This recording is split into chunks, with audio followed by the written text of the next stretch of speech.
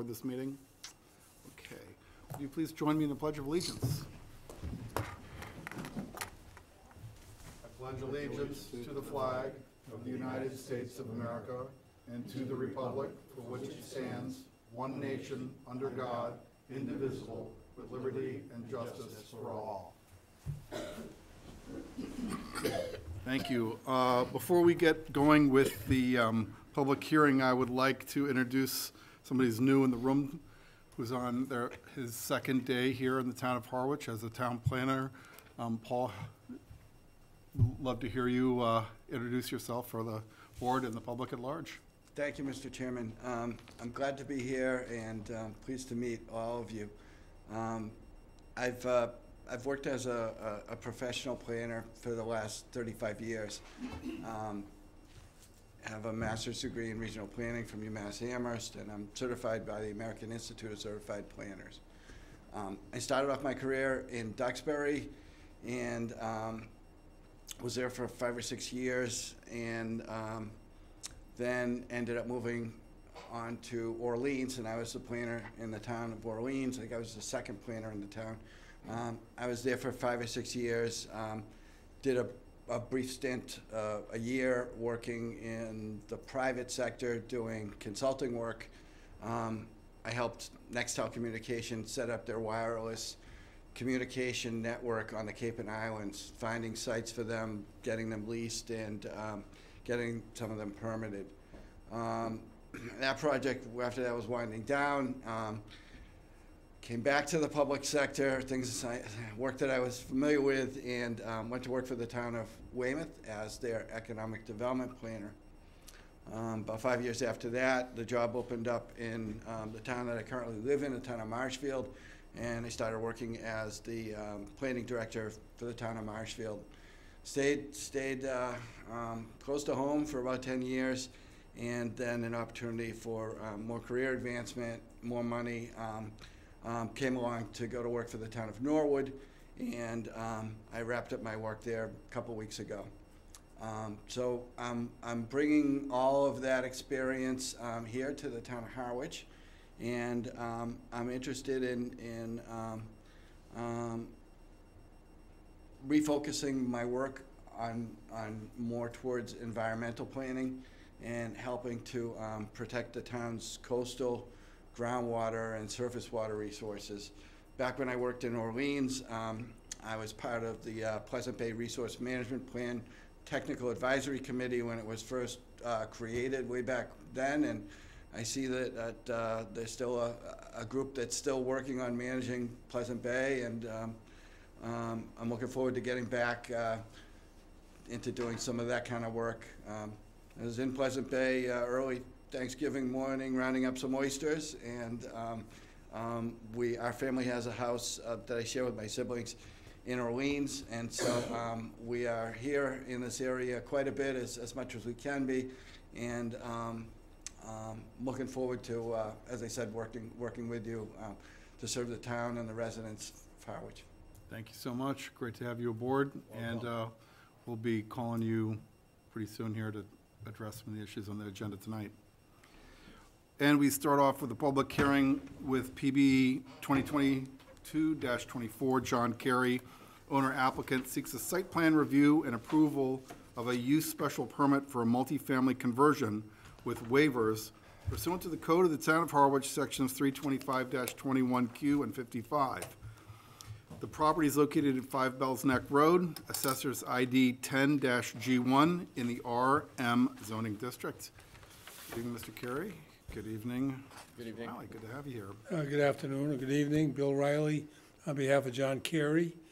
Uh, John is uh, very anxious and excited about this project, revitalizing the old school building and providing uh, affordable housing, one-bedroom apartments that, uh, you know, I think we can all agree are necessary. So I'll let John explain the project and then Great, answer whatever questions the board might have. great. Yes, uh, good evening. Thank you guys for having me. Um, I prepared some notes just so I'd be uh, succinct in my comments. Um, I appreciate the planning board taking the time to review this project. Uh, I applaud your recent revision of the multifamily zoning that's made a project like this possible. Um, Like I said, my name is John Carey. I'm 34 years old. I live here on Cape Cod. Um, I have a half dozen rental units that I fill with working-class people like myself. Um, I be, I've been called a developer quite a bit recently. I'm not a developer. I don't have a financial backing. I don't have a team of attorneys. Bill's my uncle. Um, I don't have any coworkers. I don't have a bank partnership. Uh, I don't have money from wealthy people. Uh, I'm a concerned local citizen. Uh, I'm in the construction industry. I renovate houses mostly. Um, I'm putting my chips in, contributing what I can um, to try to help fight a worthy cause. Uh, and I would say it's an essential wor- uh, cause. Uh, we have a very serious housing crisis here on Cape Cod that everyone in this room knows. Um, I'm trying to do the right thing with the property um, that I was lucky to purchase. Uh, it w- would be much simpler, quicker, and probably more profitable to make uh, a million dollar house with this property. But I know we need housing, and that's, that's what I'm trying to do with it. Um, and we need a lot of housing, and we need it quick. Um, I recommend everyone, if they have a chance to read the new study by the Concord Group. Um, it estimates that 800 families earning below the $100,000 a year mark will leave Cape Cod every year for the foreseeable future due to lack of housing. This is death by a thousand cuts. The re- uh, region's rental housing stock is 99% occupied currently, and it's getting worse, which seems almost impossible. So density, when done right, can start to fix this. Density has the ability to create a community, something I feel that's missing um, quite a bit recently. I'd like to recognize my neighbors in Pinewood Village as a perfect example of how such density has allowed for the affordable creation of a small community. Pinewood Village is my abutter to the east. It's 16 single-family homes that all share one lot. So if you, that backs into 5,000 square feet of land per house. I think it's wonderful. I think everyone that lives in Pinewood Village would probably say it's wonderful. The benefits Pinewood Village enjoys, thanks to that density, is exactly what I hope to replicate next door. Density helps absorb the cost of creating housing, especially now with the cost going through the roof. This savings eventually gets passed on to the residents, whether they're in condos like Pinewood Village or they're in apartments. Um, This property will be a shining star of West Harwich, which already has so much to offer. The north side needs some improvement. My hope is that this, uh, this decision will be a no-brainer. This proposal isn't just about this housing project, it's about the sustained economic vitality of this region, and it's our region where we live. Uh, One final comment is the 1871 School Committee report uh, regarding this, building this structure says the future success of the town lies in the hands of the rising generation. Our rising generation currently has nowhere to live, and they are leaving. The entire town is trying to fix this problem, and I respectfully recommend that we start tonight. Uh, Thank you, and I'm happy to answer any questions. Okay, so we can go through the, uh, the plan itself. So the, the, uh, the base proposal is to create, uh, seven one-bedroom units, uh, in the i- old school building.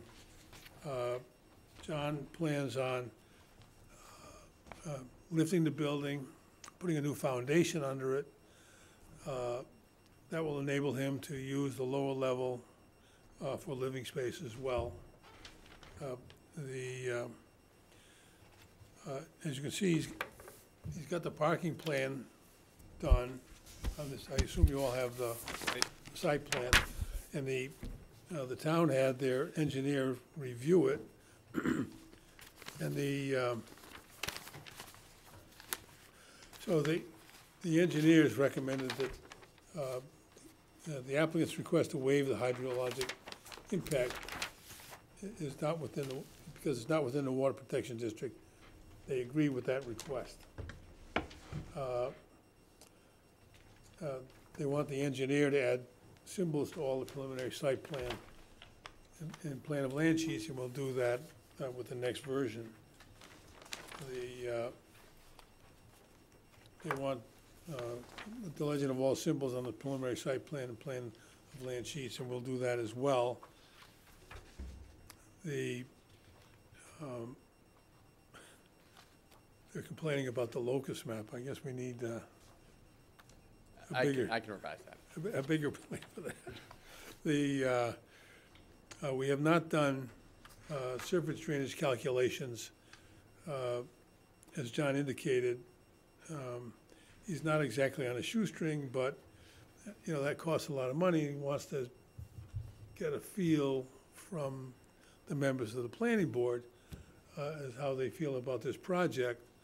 uh, And with a positive feeling, then he, then he'll be prepared to go forward and, and uh, have his engineer uh, do all the drainage surface calculations that the engineers uh, are recommending. The, uh, they've also uh, agreed with the request to waive the project lighting. They want sidewalk level lighting, uh, as called for on the preliminary plans, but the, you know, the, the bigger project lighting is, they don't think is required. Uh, And then with regard to specifications, details, and cross-sections for fencing, curbing, sidewalk lighting, and wheel stops, again, uh, as they say, upon approval of this first submittal.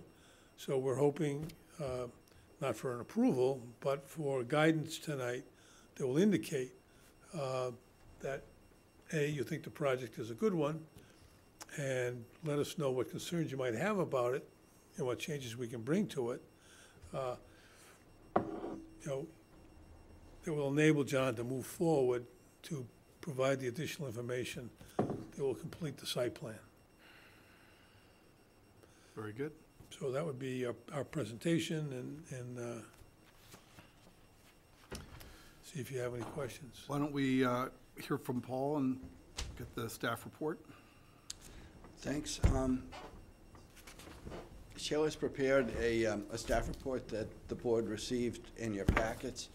Um, Being my second day, I, I didn't really um, uh, drill into this too deeply, but I do have some comments that I'd like to share with the board. Great. Um, The applicant has requested a number of waivers from strict compliance of information that needs to be provided, usually is provided, and is required. Um, It would be helpful, I think, to the applicant to get feedback from the board tonight on which things the board is willing to waive and what, what things the board um, believes should be required and provided in revised plans. Um, So that he can um, get going with his engineers and, and revise the plans to move the project forward. Um, I'm glad to see a project that, that does help to address the, the housing crisis um, on the Cape. Uh, There's a housing crisis in, in all of eastern Massachusetts, and um, I think we're all aware of it. um, But when it comes down to where that housing is gonna be built, it's often controversial, and um, density is often controversial. Um, But um, this gentleman has, has uh, responded to a request for proposals, and he's uh, purchased the property, and, and he's, he's in now and, and um, has an interest in moving forward. Uh, Regarding the waiver request, the board did receive uh, uh, a letter from the consulting engineer from VHB commenting on some of the waiver requests. Um, The stormwater management, the stormwater calculations, um, I believe should be required. I believe that's what the engineer recommended. Um, We need to make sure that uh, the parking lot's not gonna flood, that the water that sheds off of the building, uh, the new building, um, will be accommodated on the site, and that no water will leave the site and impact any neighbors. And so that's kind of a standard requirement for any, any site plan. I can work with um, Mr. Carey to provide some of the details that are required on the site plan, like uh, fence details, curbing, lighting, wheel stops. These are all things that um, we can, we can, um, I can assist him in finding cut sheets of materials, of, of what materials he would like to use um, for the project. And I understand that, that this is something that a lot of people are reluctant to, to, to want to do, but later on, when he has to figure out what it's actually gonna cost to build this, he's gonna need to know what those materials are gonna be. And, and, and there's a big difference in cost between the materials.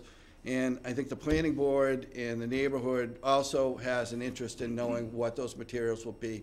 I'll throw out an example. Um, Instead of a, a- a a galvanized chain link fence, I think we'd all probably rather see um, a white vinyl fence or a wood stockade fence, something that will fit, fit in better with the neighborhood.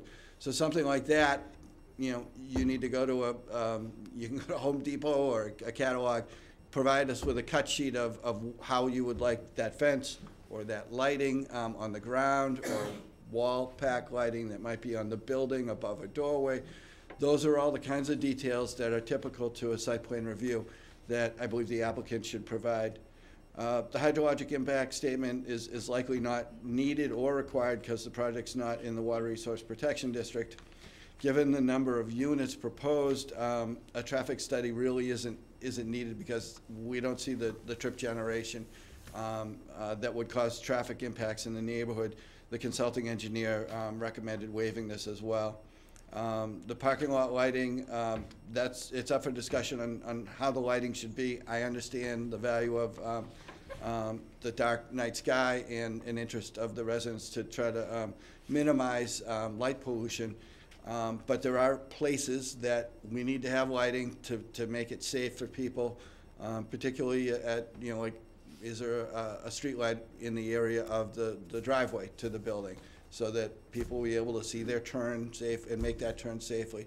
So um, that's a balancing act between, um, you know, not too much lighting, but enough lighting to, to make the people that um, live there feel safe uh, and- and, and make it convenient for them. Uh, Section four hundred six of the, the bylaw allows the planning board to grant waivers of strict compliance if they determine that uh, the waiver is in the public interest. The board cannot grant a waiver, shouldn't grant a waiver because it's cost prohibitive for it to be a small project. So these, I wanted to make clear to the applicant that, that the board can waive certain things, but the bylaw is clear that there needs to be a public interest in, in doing so. Um, So that's one of the things that I think the board, when I'm done, um, should have an open discussion about, about the waivers. The site plan um, is, it says it's a preliminary plan, and it- it's a good start, but it does need um, to have some more details provided. Um, And we can work with the applicant on, on what that should be. Landscaping shows three, um, three new trees, uh, uh, dogwood trees and maiden grass. I couldn't tell from the site plan if there was any existing landscaping, um, and it's, it's often helpful to know, you know, what's existing and what's proposed. Um, It's, it's usually a good idea to try to um, provide some kind of a mix or diversity in plant materials. Um, I don't know whether dogwood trees are drought-resistant and salt-tolerant, and those are a couple of criteria that we should look at in all landscape plantings um, for this region.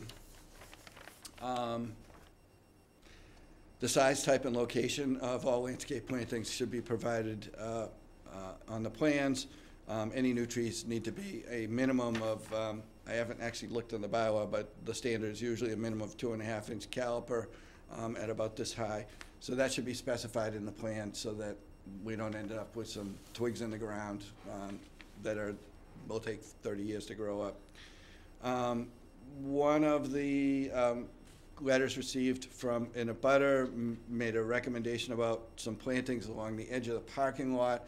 And I looked in the zoning bylaw and it actually mentions that in an effort to screen parking areas and to, um, to provide some screening for headlights from people that are pulling in and out of the parking lot. If there's a- like a row of shrubs or something, that will help to minimize um, uh, off-site light impacts to the neighborhood. Um, I talked a little bit about the lighting. Um, we, we need to know what's, what's proposed and the height, uh, if there are gonna be any new, um, light poles, tho- those, those should be specified, the type, and, um, they shouldn't be any higher than twenty feet to try to contain that light on the site and, and prevent overspill. Talked about the fence. Um, the subject property is a pre-existing non-conforming lot. It's, um, it's smaller than what's required, the forty thousand square feet in that zoning district. It's an old piece of town property with an old school building. Um, and, uh, when it was built, the twenty-five foot sideline setback probably wasn't even in place. Um, so the property's non-conforming with respect to lot area and, and the um, setback of the existing building.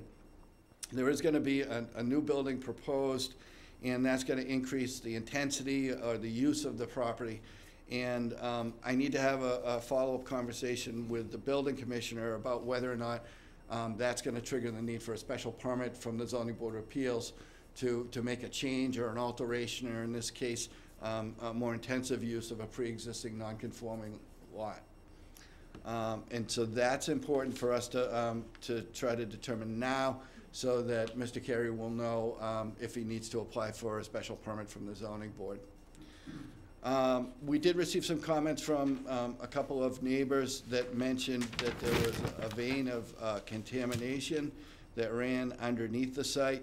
Um, that's something that I wanna have a follow-up conversation with, um, the Director of Public Health. I need to determine whether or not there are any activity or use restrictions on the property that might have been recorded in connect, connection with any contamination. Um, so I need to do a little bit of a follow-up there. Um, I mentioned the stormwater management and needing that. And, um, the last thing, comment I have is that we did receive, um, some comments from, uh, neighborhood residents, um, including one that came in just, uh, just this evening. And, um, not sure how the board wants to handle that, whether you want to read these into the record or just, um, you know, make note of them that they had been received. I'm not sure how you handle that kind of thing. But, um, those are my comments on the project, Mr. Chairman. Thank you. Uh, Well, if I could, if I could just respond to, to Well, before we get to that, I just, I want to make sure that we, have- you may as well take it from all of us, right? I mean, un- unless you have an objection to it, No, It's not an objection, It- it's an explanation of the pollution. right? So the, uh, uh, there was a a laundromat in Dennis. Right. Port, and they put their effluent into the groundwater. Uh, There was a site test done on this property that showed that at 20 feet, uh, there's no sign of that, uh, you know, soap, basically. Uh, And you have to go down to 50 feet before you find it. So we don't think that, uh, whether it exists or not, I mean, there's no, there's no activity use limitation on the property. So just I wanted to answer that question right away. That's- Well, the thing, and I, but I think the, the point is due diligence in the town's point is that there have been positive and negative tests that I'm aware of over the last thirty years there. And the last test, I think, was in 2017, 2016, something like that. There was, a bu- you know, it cleared then, but then there was some other hubbub that came up, so I mean, I think we ought to just get it Oh, all out on the table, you know, and just, I mean, nobody's objecting to it, wasn't, you know, a concern when it was discharged by the town, but I mean, this is the opportunity to know where we all stand, so that- that was his point of due diligence. So, um, the board, would anybody like to step up first? Any questions? I know there are obviously some questions. I did have a question on the plume. Um, I'd just like an answer from the Board of Health, Yeah, definitely need an answer on that. because there was a corner mat only two lots away from there. And I- There was what? Sorry. There was a corner mat two lots away, Right, uh, and that's, and that's the source of the, probably the source of the plume, yeah. yeah, the, yeah, but it's, as I indicated, there's no AUL, activity use limitation on the property. We, Just need to we get did a it title confirmed search and the there was nothing Board of Health. there. Right. So, but, you know, happy to, you know, I mean, I, Jo- uh, John has told me that the, uh, uh, the laundromat is no longer in business, so I don't know if it's gonna come back again, There's but, a lawyer's office right there now. beg your pardon? There's a lawyer's office there right now. Well, it's a different kind of pollution.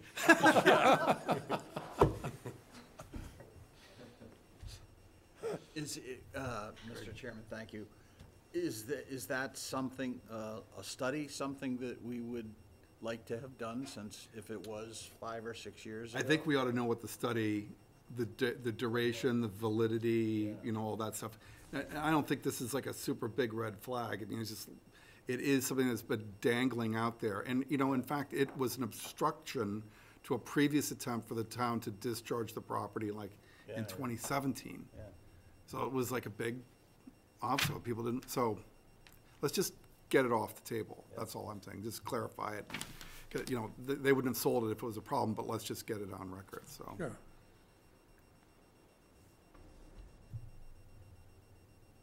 Uh, We're being asked tonight to, what, give uh, these feeling- waivers. a and- Waiver, are, Right. are you asking for the waivers tonight, or are we? Well, I think we've got, Because I hear you said you wanted, how do we feel about it? It's like, what's our action tonight? Well, I think the action is we've got to clarify, tease out Right, in the um, proposal, the things that we can go ahead with, things that there may be some, need some discussion. Um, And as you all know, I- just as the, this is the place where we probably ought to do it, we ought to read those letters into the um, record. Um, And did everybody receive the record, the letters um, prior that were in the package from last week?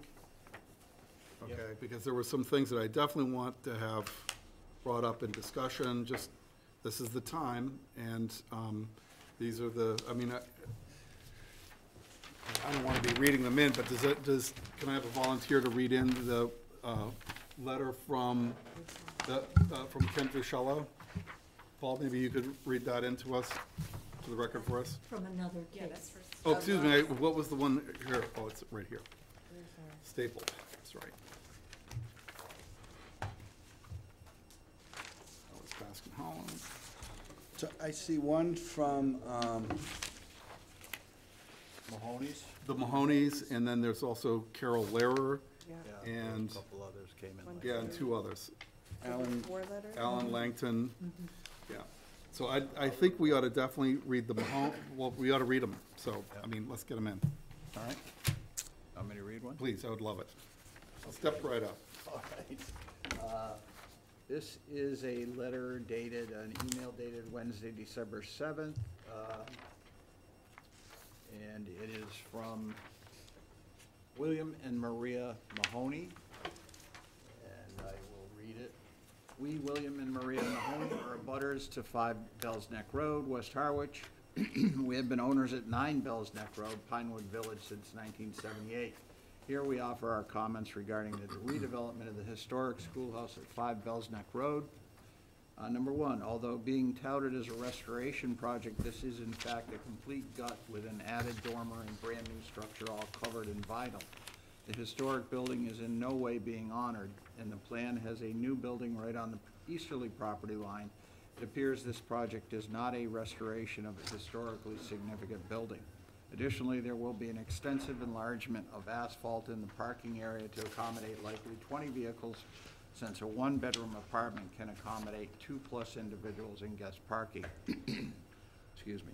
Number two, the site is less than 0.2 miles from a renowned protected wetlands and conservation area. The introduction of more asphalt will likely negatively impact that area as well as drainage and other environmental concerns. Has a feasibility study been conducted? If not, when? If yes, when will the town make the findings public? Number three, the proposed rents of two thousand dollars per month for a one-bedroom apartment far exceeds the current market rate.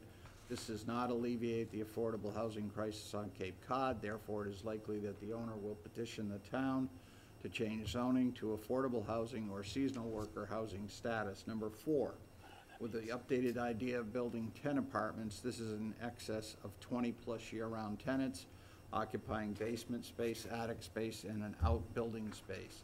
The town of Harwich cannot entertain tenement-like housing in this lovely retirement resort town in the important Captain's Road district. The negative environmental impacts informs, impact in forms of water use and wastewater removal, traffic patterns, and emissions has not been released. Has it been studied? Uh, Number five, years ago, the town discovered a toxic vein underground on this site prohibiting development and condemning a private well abutting Five Bells Neck Road. Have those findings been ignored? Has current, current testing been scheduled? If not, how is the town or develop, developer builder deeming the site toxic-free and safe for disrupting the earth with no harmful effects therein? When will such changing, cha- when will such findings be released? We are completely opposed to Mr. Carey's significant, significant expansion, hundred percent, of his initial proposal of four to six units. As a recap, this site simply cannot support ten units.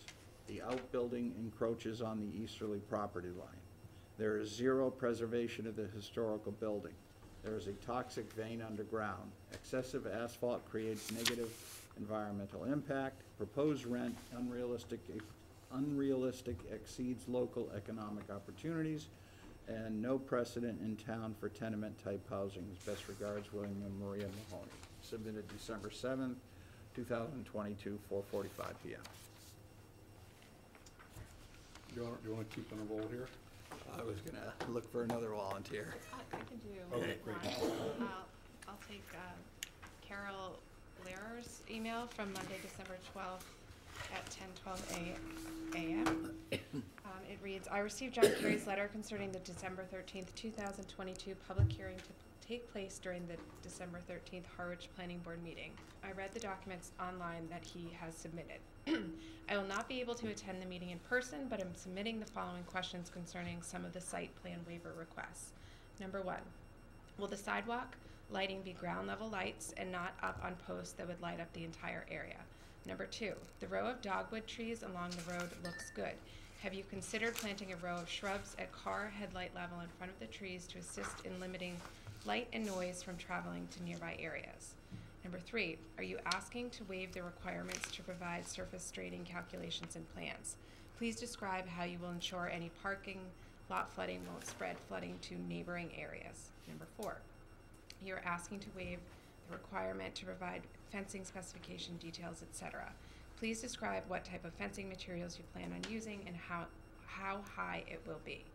Number five, what are the shortest and longest rental lease terms you plan to offer? Number six, as you specify in your project narrative, this project is a conversion to year, uh, quote, conversion to year-round multifamily housing, end quote, and your stamped site plan indicates one bedroom in each one of the ten apartments. What is the maximum number of permitted permanent residents allowable per apartment? Thank you for submitting my questions. Thank you. We have two more, uh, right? Or One more. Yeah, I think two more. Uh, Let's see.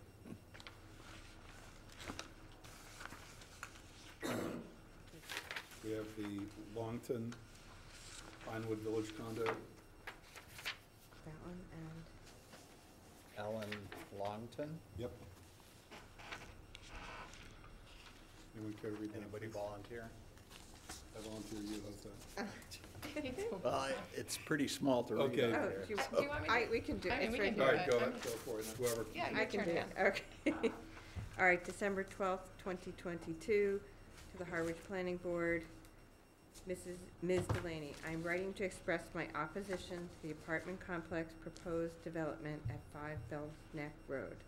I purchased nine Bell's Neck Road, Unit eleven, on September first, twenty twenty-two. During the process of acquiring this residence, my realtor, Linda Walsh, had spoken to the developer in July and informed me this was a four to five unit restoration project of the West Harwich Schoolhouse. I recently learned in an article published September twenty-first, twenty twenty-two, in the Cape Cod Chronicle, that when the developer acquired the property, it was presented as four apartments. The article goes on to explain how it will be converted into seven apartments. Then on November fourth, twenty twenty-two, the developer submitted plans for ten apartments. This amount of development to the proximity of Unit eleven in Pinewood Village would have significantly impacted the decision-making process of acquiring this home. The proposed second building appears to be approximately twenty-five feet from my property. I spoke with the developer last week of October when he was doing some patchwork on the roof. He stated he was experiencing delays with the town on getting permitted. I find it dishonest that he submitted his request after his conversation and at a time when most residents are not in the neighborhood and challenged to show up to the December thirteenth meeting in person. The developer is clearly not being upfront and honest, especially when we, the Pinewood Village, were willing to help support a four to five unit development with a water easement that developer neglected to mention had grown to ten units. The Cape Cod Chronicle article describes previous attempts to renovate the property was thwarted by a major vein of pollution run, running under the property. Has this pollution been removed? Is there testing scheduled to deem the site toxic-free? The West Harwich Schoolhouse property is located in a single-family residential neighborhood. It is about 0.25 miles to the Bell's Neck Conservation Lands. Has a feasibility study been conducted to the environmental impact of this quiet neighborhood and conservation land? The Baxter Nye Engineering and Surveying Site plans state that it does not appear to be near an area of critical environmental concern. How is that determined? What impact does this ten-unit apartment complex have on the state designated IWPA zone? The four hundred neighborhood study shows that these are all private residences. The site plan utility locations are approximate and excavations likely required. Will there be u- utility interruptions at the Pinewood Village condominium? It is my understanding that the town of Harwich viewed this project as a restoration project of an eighteen seventy-one schoolhouse historic preservation. If you would please look at the south and east elevation drawings on drawing A two hundred. How does this look like a historical eighteen seventy-one schoolhouse? Same on drawing A two oh one, and the west elevation with added dormer. I'm not seeing a historical eighteen seventy-one schoolhouse. The use of vinyl siding will further cover up this historical eighteen seventy-one schoolhouse. Regarding the second building, how does this enhance the restoration of the eighteen seventy-one schoolhouse? Site. I am perplexed as to why the town of Harwich would want to move forward with this project. The proposal is more than double the initial scope and will likely end up with zoning to accommodate affordable housing or seasonal working housing status. This has the potential for an increase in drug use and crime that unfortunately is experienced in Hyannis. I'm not opposed to the development, but the proposal before us is not for the betterment of Harwich, and it will lower property values in the area. Respectfully, Alan Longton, and it's signed President Pinewood Village Condominium Association. Thank you, and we have one more. What is the one? I don't have it in my, my folder here, if there's a fourth. Is there a fourth? Is that it? That's Carol. That's it? it just came in. You were the first I heard about it. Was the comment that just came in tonight for this, or was it for? um, For Stone Horse. For Oh, Stone Horse, okay. okay. All right, so then it was only three then. Yep. All right.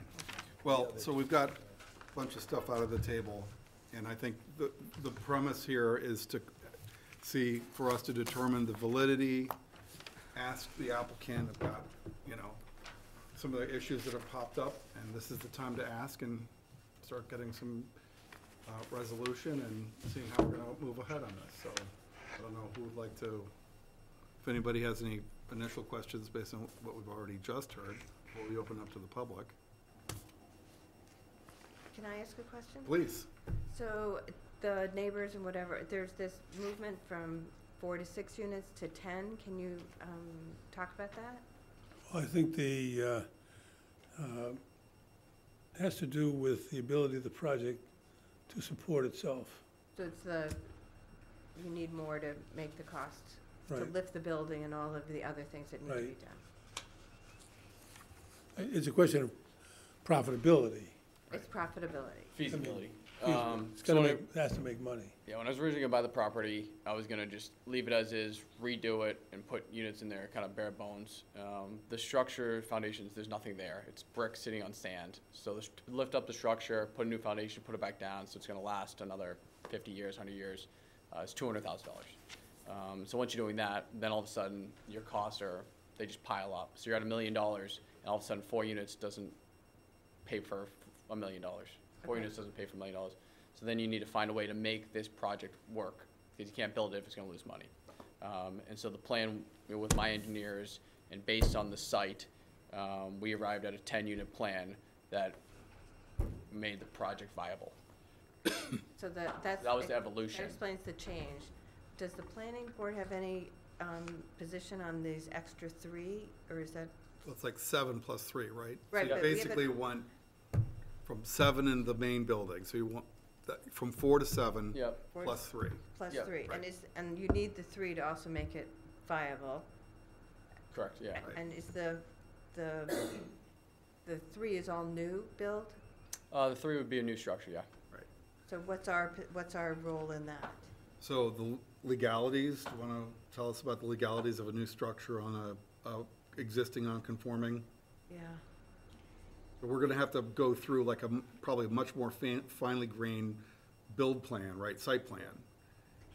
I mean, that's just the, the bottom the, line. the bylaws, so, um, So, um, because the property, uh, doesn't meet the minimum lot size requirements for that zoning district, the, the lot itself is considered a pre-existing non-conforming lot. There are other, there's a, a sideline setback that doesn't comply with the current twenty-five foot sideline setback. It's an old building, built long before, uh, the town had adopted any zoning. So, um, this makes this property and the existing structure pre-existing non-conforming. Typically, when you want to, um, make an, an addition or an alteration to a pre-existing non-conforming structure, or in this case, um, a more intensive use of a pre-existing non-conforming lot, because there's a second building proposed, oftentimes that will trigger um, a trip to the zoning board of appeals to request a special permit for expansion or alteration of a pre-existing non-conforming use or structure. So I, I had a very brief conversation with the building commissioner this afternoon about it, and um, we agreed that we should talk some more about it later. And that's something that, um, that the board and the applicant, you know, would need to know going forward so that there's a, a clear understanding of the permitting path for the project. right. Uh, Mr. Chairman, I, just very briefly, I was involved, as you know, next, next case, uh, with Stonehorse. Right. And the, uh, uh, and at that time, of course, different administration, uh, we needed a, a use variance because we were creating a dormitory. Right. Uh, But all the other changes we were proposing were uh, just part of the special permit approval by this board. Okay, So I don't know, you know, I'd like to have that conversation with Jack Mee to see what he, what he thinks. That was Ray Chesley's take on it at that time, so. Right. well, this is where uh, we're into forty-eight hours with the new planner, so there's gonna be a little slippage here, and we wanna make sure that everybody's, you know, kinda moving along. But Right. let's, John, yeah, And there's a footnote in the new multifamily zoning that allows for pre-existing Right. lots under forty thousand square feet. Okay. Mr. Chairman? yes, Chet. And will that uh, second new structure uh, be in compliance for all the things the existing structure is not, i.e. setback and so on and so Yeah, forth? It would meet all dimensional requirements. Okay. I have a question. Could, there's, in these letters, there's a, a- a multitude of questions related to this being positioned as a restoration project. Right. Could Please, there, could I have some background on that, or, yeah, let's, let's bring up that, because I think there's some ambiguity here or perceptual, because I- I'm sure, did everybody get a chance to see the, what was presented here? I think the- some of the reverb was in the, the paper. Did you all, I'm assuming you guys saw it, right? Did everybody see it in the, the board? Oh, yeah, I So- saw it. Basically, Bill copied the application. Correct. So, but I think what it did was, in the compression there, there was a, a kind of pot, well, as in all kinds of, um, compressions, there's a kind of distortion. And I think that's what probably prompted some questions about, um, uh, preservation. Like, for instance, one was, um, eh, two of the people talked about, um, vinyl siding. Do, I mean, Well, the technology has changed, you know, it's like, Well, why don't currently- you talk about that? There's currently vinyl siding on the building now. Right, but that's not preservation, it's not historic. I, so well, that's- yeah, I can speak to it. Yeah. Um, so when the town sold it, um, they, uh, they had priorities, and one of them was historic preservation of the structure. Um, we spoke with the historic, um, commission, and they deemed the building was not, the elements of the structure were not historic. The only thing historic was the structure itself. So the vinyl siding, the windows, the trim, the doors, um, the roof. There was nothing historic about the structure other than the structure being where it sits and the size of it. Um, so because that, there was no historic preservation deed restricting anything. Uh, what I did um, promise to do, um, and there's nothing um, that forces me to do it, I just want to do it, is keep the structure as close to what it would have been in its entirety, which is why the buildings don't touch. It's easier, cheaper, and probably permitting better if, if I attach the buildings, then I think it takes away from the historic significance of that main structure. So I'm happy to do whatever you guys want. Yeah, and the, if I could also address that, the, um, one of the things that, uh, historic preservationists talk about when we go to historic commissions to modify, uh, existing historic structures, is that, uh, changes are all right if they're changes that, uh, would have been made or could have been made, uh, as, as the building aged along. So uh, dormers, for instance, are a classic form of enlarging a structure without really changing it. And so uh, John's using dormers uh, to get additional living space. You know, you know, doors change because we have, know, requirements of the, of the building code and the health code. So you can't really keep the same doors. But the, so what, what the Historic Commission said to John is, none of the elements of the structure are historically significant. You know, the trim, the doors, the windows. Um, But the structure itself, its size, and, and, you know, and how it was used previously, that makes it historic. So the idea is, um, what changes can John make to the structure that don't destroy that one aspect? And I think, I think John's uh, proposals of using dormers rather than, uh, you know, ripping the roof off and adding a third story, I mean, that, you know, so, uh, so he's trying to honor the structure without uh, giving up the project. Well, I, I just thought it was, you know, would, um, I guess it's, uh, image A two hundred and A two oh one, uh, which are the elevations. To me, I mean, if these are what you intend to do, to me, this is what honoring the spirit of what was built, um, with this one caveat. I was a little bit, personally, I just think it's a little odd to find a solar array, street facing on the south facade. That was, to me, kind of the one kind of big red flag. It's like, okay, we've got this fabulous Model T, but we want to drop in this Tesla battery, um, and you're gonna have to see it. It's like, that to me is like one of our, one- so- something that just kind of like blows up in my head, but Well, you know, in the, you know, and I've been involved in this kind of discussion before, and the, the, uh, and no disrespect to old guys, because I'm one, but the, careful. the, uh, every conversation I've had about this where a client is proposing uh, a solar array on the roof, and there are objections to it because, you know, there are no other solar arrays in the neighborhood. I'm talking about cer- certain Chatham neighborhoods. The, uh, uh, the applicant, who's typically a younger person, Right. says, I can't believe they're opposed to, you know, uh, helping reduce or, uh, climate change.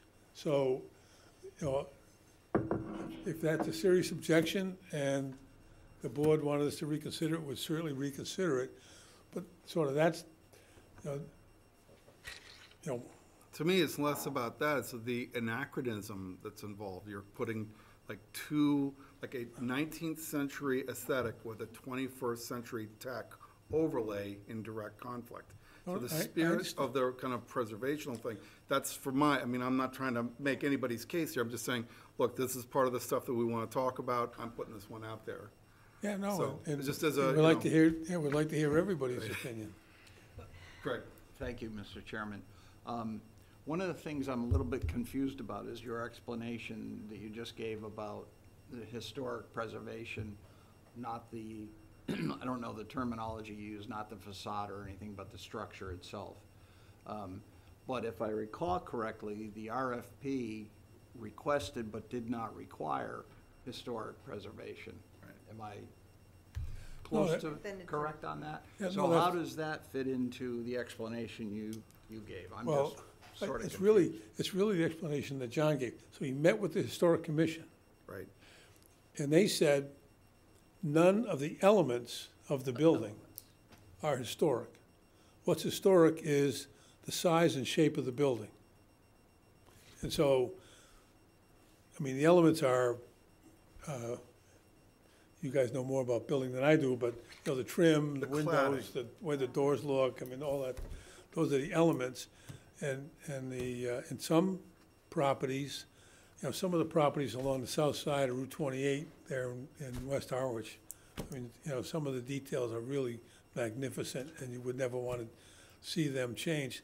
Here, you know, we don't, we don't have that, so that was the, So I'm just curious, and it's not a question to you, but I'm curious as to why the selectmen, when they put out the RFP, would have said preferences for historic preservation. I'm wondering what they were Well, I'll tell you what, I'll, because I remember, remember in uh, the 2019 uh, town meeting, when this was the second go-around to discharge the property to sell it. And the first time, first time around, like 2017 or 2018, it didn't go. The Second time, the stipulation was for historic preservation as the premise, that this was gonna be, you know, part of it. And then the RFP goes out and says, we would prefer this, but it's not a stipulation right? Then there was a next item, so it's like, it's kind of gotten watered down.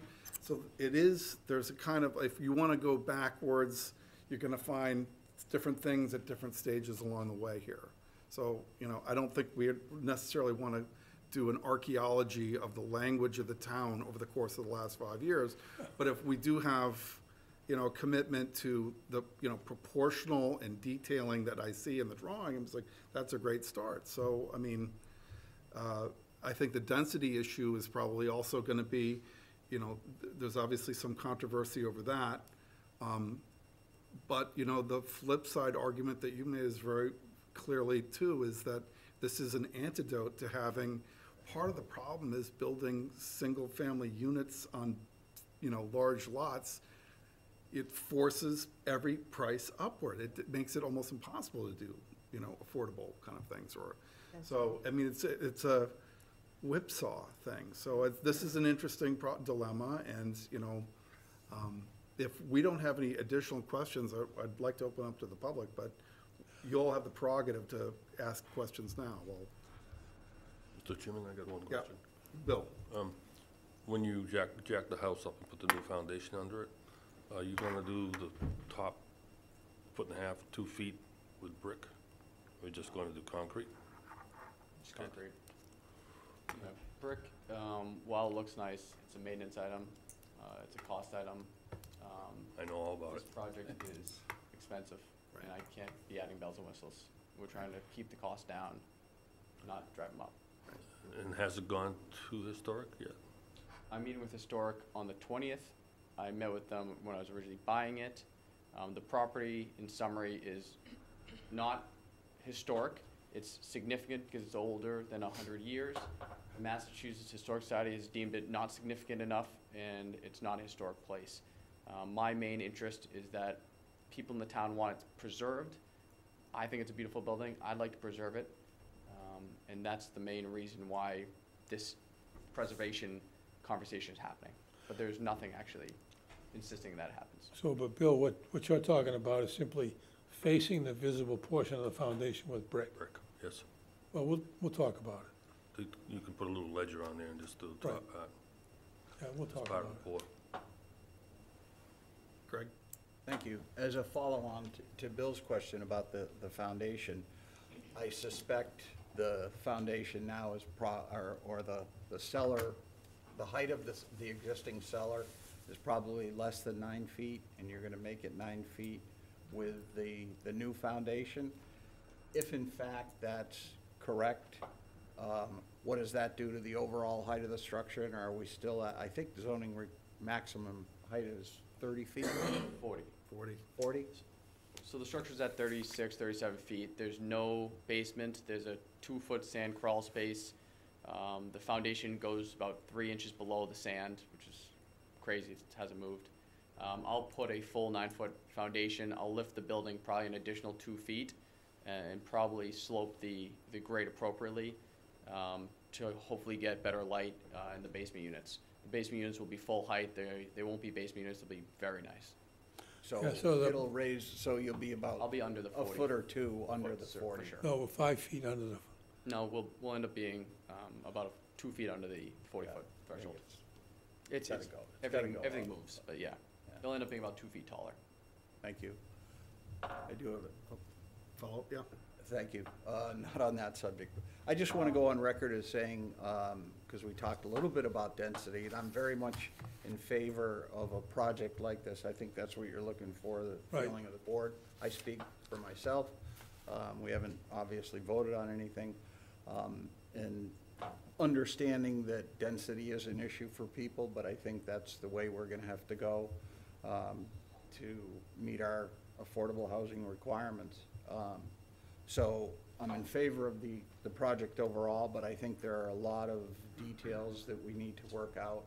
Um, And as been discussed, you know, we're, we're gonna come back with this with, with more detail, uh, more detail in the building construction or reconstruction. Um, One of the other questions I had is the, I guess it's the, the back of the property, which abuts the driveway into Pinewood? right? Is that the back of the, or where's the It's the front back and the back? and the northern side of the property, about Okay. Pinewood's driveway. Okay. Um, There are uh, huge old pine trees, probably within five feet of the structure along that driveway. I assume those are on this property? They're not. Um, And some of the branches on those pine trees are hanging over onto the roof of this existing structure, and you're gonna put a dormer on top of it. Is that gonna require taking down some of those trees and/or lopping off all the branches that are on the side of the proposed? Well, I can tell you, I mean, if the trees are not on our property, then, you know, we don't have the ability, the right to take them down. If the branches extend over the property line, then we have a right to remove the branches to the property line.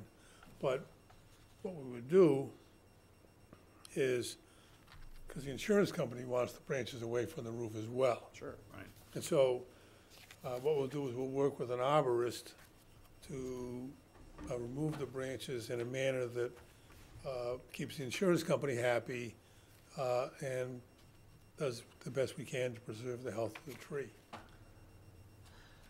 Thank you. Any further questions from the board? Um, Mr. Chairman?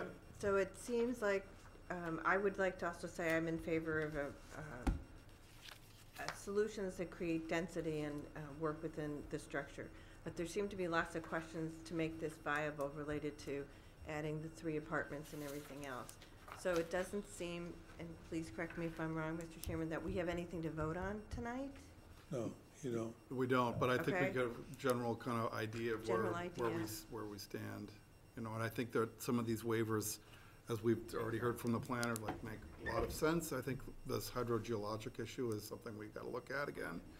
And, you know, I mean, and the, the parking lot thing, the, the, the lighting thing, is it gonna be, you know, something we can talk about too, but, um, again, and then I think, uh, the health commissioner, um, health a- agent had said that, you know, the input is gonna be forthcoming, so we really don't have something to vote on, but, you know, you're getting a pretty good idea of here where things stand.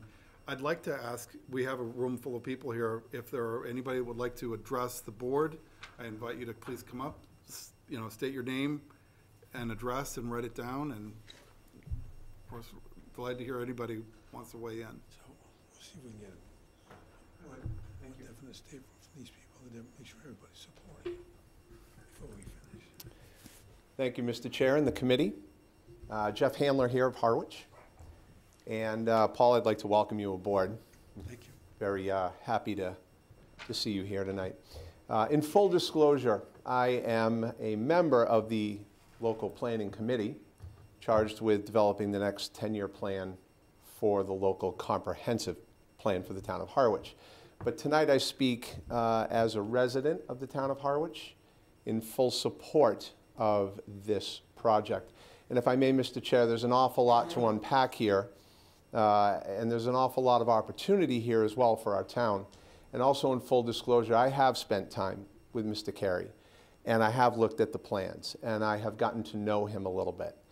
And uh, for me, it, it's all about seeking to understand first. And now I do believe I understand the project. And Harwich has been waiting for a project like this for some time. And thanks to Mr. Carey, now he has put it before our town to vote for approval. May not be the perfect project, but I would suggest that it would be the perfect project for the people who would find housing at this location. With respect to the structure, we all understand it's in disrepair.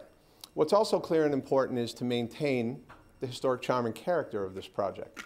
Mr. Carey intends on preserving that, that, that the historic nuances of the, of, of the property, both for Harwich and for Captain's Row, which I think is very important.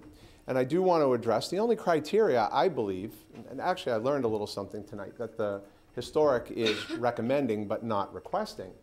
Um, we need not talk about what Mr. Carey does to the inside of the building. That's not in the purview of anybody. What he chooses to do with the inside of the building is up to him. Anything he, anything he chooses to do is not in the pur- purview of any committee here that I can see. Maybe I'm wrong. With respect to the dormer, I feel it's a small change that will make a tremendous impact. Three more units. I don't want to lose sight here of the challenges that our town faces with housing, not just our town, Cape Wide or Easton Mass, from what I hear. So I don't want to lose track of that. And I want to make sure that everybody looks at this dormer as three more one bedroom units. I think that's very important. I've also spoken to a lot of the community and, and our residents about this project. And not surprisingly, there has been an awful lot of confusion. This is not an affordable housing project. It is not. It's rather a small community of workforce housing, to which to date, that term is still undefined. I believe we're speaking of our blue and our red. I believe we're speaking of our teachers, our town employees. I believe we're speaking about small business managers and, and other professionals that will truly contribute to our town through 12 months. Not just get bussed in here for the summertime rush and then out they go. These are the professional people that will make our town go. That's who will be living in this, in this workforce community. With respect to the economics, and I, there's been a lot already touched on, so I'll, I'll, I'll speed through this. I've spent a year gathering data on this exact topic, as I've got some projects going along in the town as well. Many have said this is not affordable. Many have said $2,000 is just too much for a one bedroom apartment. Well, first, I would say it's really not your business. You're not the one who's putting their neck on the line and trying to do something for the greater good of the community. But I will back it up with facts because I truly believe we need to deal in facts. I looked at West Bridgewater in Bridgewater and I searched for one bedroom homes, or one bedroom apartments, excuse me. Prices range from 1750 to 2650 for a one bedroom in West Bridgewater and Bridgewater. Now I would say that the 1800 to 2100 that Mr. Carey is proposing is about market rate for West Bridgewater but it is not market rate for Harwich. It is below market rate for Harwich. These units will be full of people who will be contributing to our town. No question about it. This person is attempting, this, person sitting right in front of me here, Mr. Carey, I'm so sorry about that. Uh, you're attempting to do something very noble for this town, and I commend you for the, for the attempt. Uh, and I believe this project should be supported. With respect to density, single, it was already mentioned, a single family home uh, approach to building our way out of this problem is dead in the water before we even begin. It is not going to work. A certain amount of density is required. That is the future for Harwich, like it or not. And this project is a reasonable one. Pinewood Village has proved it. Pinewood Village, 16 units, one to four bedrooms per unit. When I, when I did the research on this, it was a bit staggering, to be quite honest with you. 38 to 48 total bedrooms potentially. I'm just guessing. I've never been in there. It's a great area. On two acres, 5,000 square feet per home. I mean, this density, that's density. What, what Mr. Carey's doing pales in comparison. And Pinewood Village proves it can work. It proves it can work. What I see here is true opportunity with very, very little downside. I see opportunity for potentially 20 hardworking people to gain housing. I see opportunity for local businesses that are struggling desperately for, for help to get some relief. I see opportunity for property values in, in West Harwich to increase, not decrease. I, I, I don't see how anybody could come to the idea that property values would decrease if we renovate respectfully this piece of property, this piece of property. I also see some life being breathed back into Captain's Row. I love your approach so far. I, I can't pronounce your last name. I'm not going to try to do it, so I'll call you Mr. Paul. But Mr. Paul, I really like your approach so far tonight, and, and I think it's uh, commendable. I see an opportunity for our town to step up and be a proponent and not an adversary to the very problem that is being discussed weekly at most town department meetings. The time is now for Harwich, from the top down, to assist and facilitate this gentleman sitting right here in front of us. Then maybe others will see that the town can work professionally and cooperatively with other professionals so that maybe more of us will dip our toe in the water. I see an opportunity to create a working model right now for a system or for future projects here in Harwich. I've always said the optimist builds the airplane and the pessimist builds the parachutes. Listening to some of these comments tonight, disingenuous comes to mind, as well as an attempt to create fear about this project because they simply don't support it. For anyone to insinuate that there will be an increased drug use or crime and that this will likely become Hyannis, first of all, I, I, that, that is wildly inappropriate, pessimistic, and very short sighted. Furthermore, I consider it a scare tactic and a perfect and clear case of not in my backyard. Of course, there will be a few who look at this through the pessimistic lens, but I choose rather to look through the lens of an optimist. If we're going to deal in hypotheticals and crystal balls, let's hypothetically believe that this is going to be a huge win for our town. Who cares about Mr. Carey?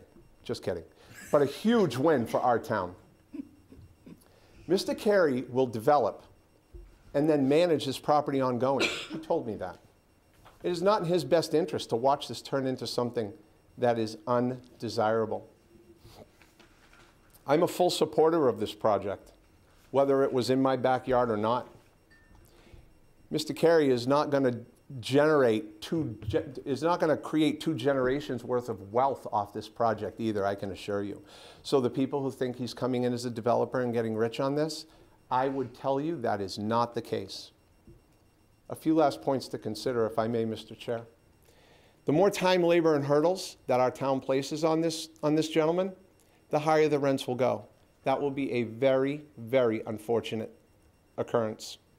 Economics 101, he'll just pass it on to the consumer, and that is not what we should be doing. I know we need a little bit of time for you to get up to speed, but I love how you've approached this so far. If this project does become financially not viable, might we be looking at a 40B in its place? I don't think we'd want that. I think it would double the density, if not more than double. And I think our town, as we all, all already know about 40B projects, we may not even have a say. It's very important for so many reasons that the town support this project. And I feel this is one that if we can't make this work, honestly, why bother talking about affordable or workforce housing anymore? This is a layup, in my opinion.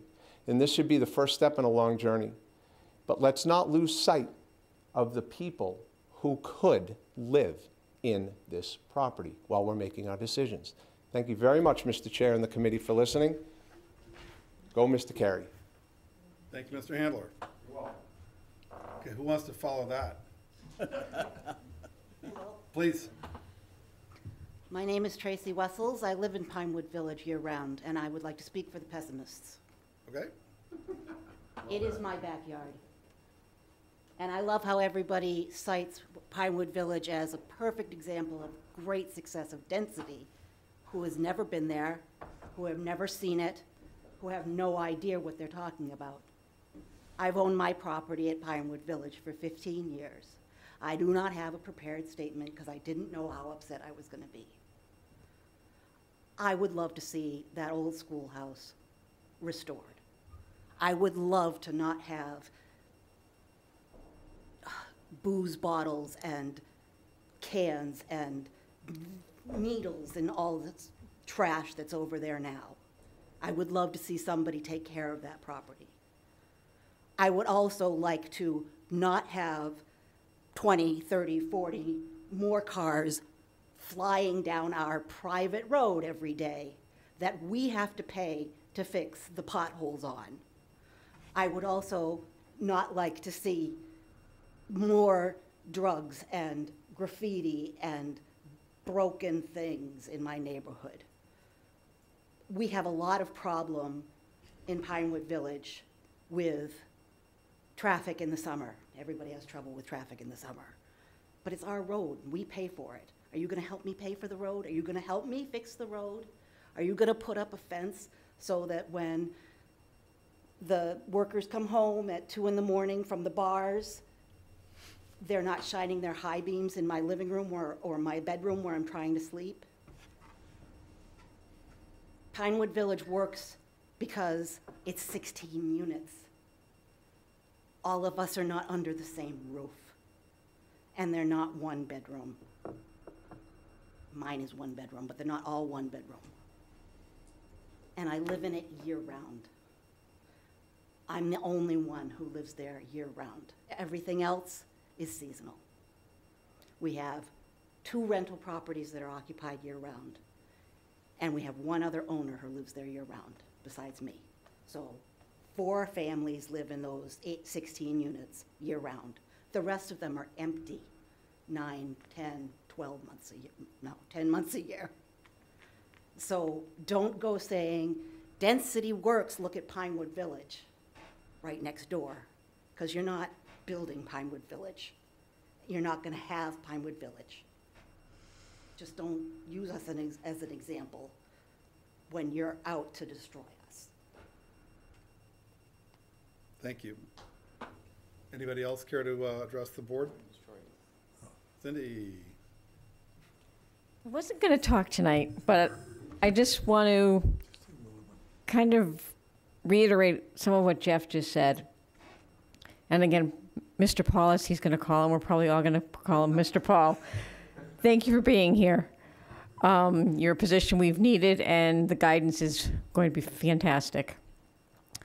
But what Mr. Carey is trying to do, and I appreciate what the woman pre- previous just said, but what he is trying to do, and we should be so commending a young gentleman that wants to give back to his community, take care of a problem that right now none of us are fixing, has come here.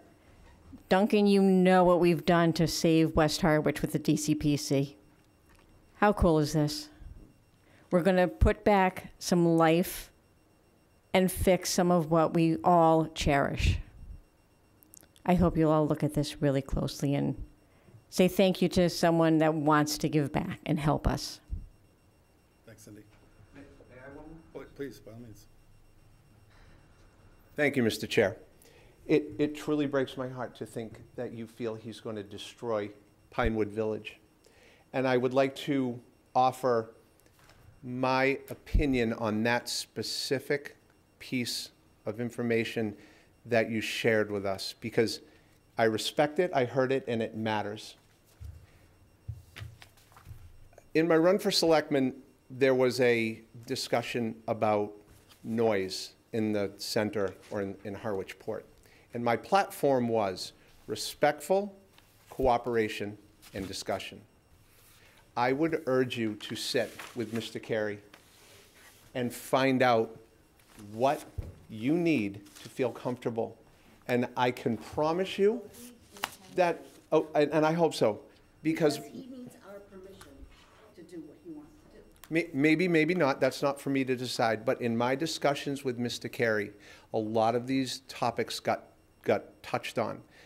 And the commitment that he has to working with Pine Village and other abutters and the rest of the town of Harwich was commendable as far as I was concerned. And I really, I'm, I'm really saddened that, that you feel so strongly about this. And I, I certainly do hope that there's going to be a win-win at the end of the day here. Uh, and that, that's all I have to say. Thank you again, Mr. Chair. Thank you, Mr. Handler. So, um, where do we stand here? Do we, uh, need to continue as? Mr. Chairman, I have Yeah. a couple of questions. Sure, please. Thank you. Um, Is the plan to construct the, the new building at the same time as the renovations going on with the, the existing structure? Is that something that comes later, and if so, how much later? Um, so the plan is, the phase one will be upgrade all utilities, uh, lift and move the school, place back down, renovate, uh, and then occupy the school. Um, the reason I need the approval for the ten is because the utilities are about a third the budget, and you have to go one way or the other with them. You can't do, you can't do add-ons. The septic has to be sized, the utility has to be sized. Um, I'm alone, I don't have a team, I don't have a company. Um, I'm gonna occupy and fill the first building, make sure it's a success. And then I'm gonna go for a building permit, permit for the second phase, if it's still in my best interest. All I'm asking for now is permission for the ten. I might finish the seven and say, I'm all set, this is enough, and, uh, and we, s- we sit at seven. Um, but I need to size the project today with this permit, or with this approval. Right. That's kind of what I'm thinking, it'll be a phased permitted project. Thank you. Yeah, We would just, well, I would just ask, uh, sorry to interrupt, Mr. Harris, but just, you know, in general, to the members support the concept, or are they opposed to the concept? So that John uh, can go forward with enthusiasm and, and spend money and get ready to, you know, get the project completed. It's not a vote, it's just an indication. Got a rough feeling? Anybody want, I mean, Yeah, I'm, I'm personally very supportive. Dave? Yeah, I, I'm not sure exactly how to ask this question, but from a cost standpoint and a marketing standpoint of the property, once it's completed for potential tenants, in order to provide these same four units, if, would it be less expensive for you to demolish the building and start anew than to renovate this existing old building?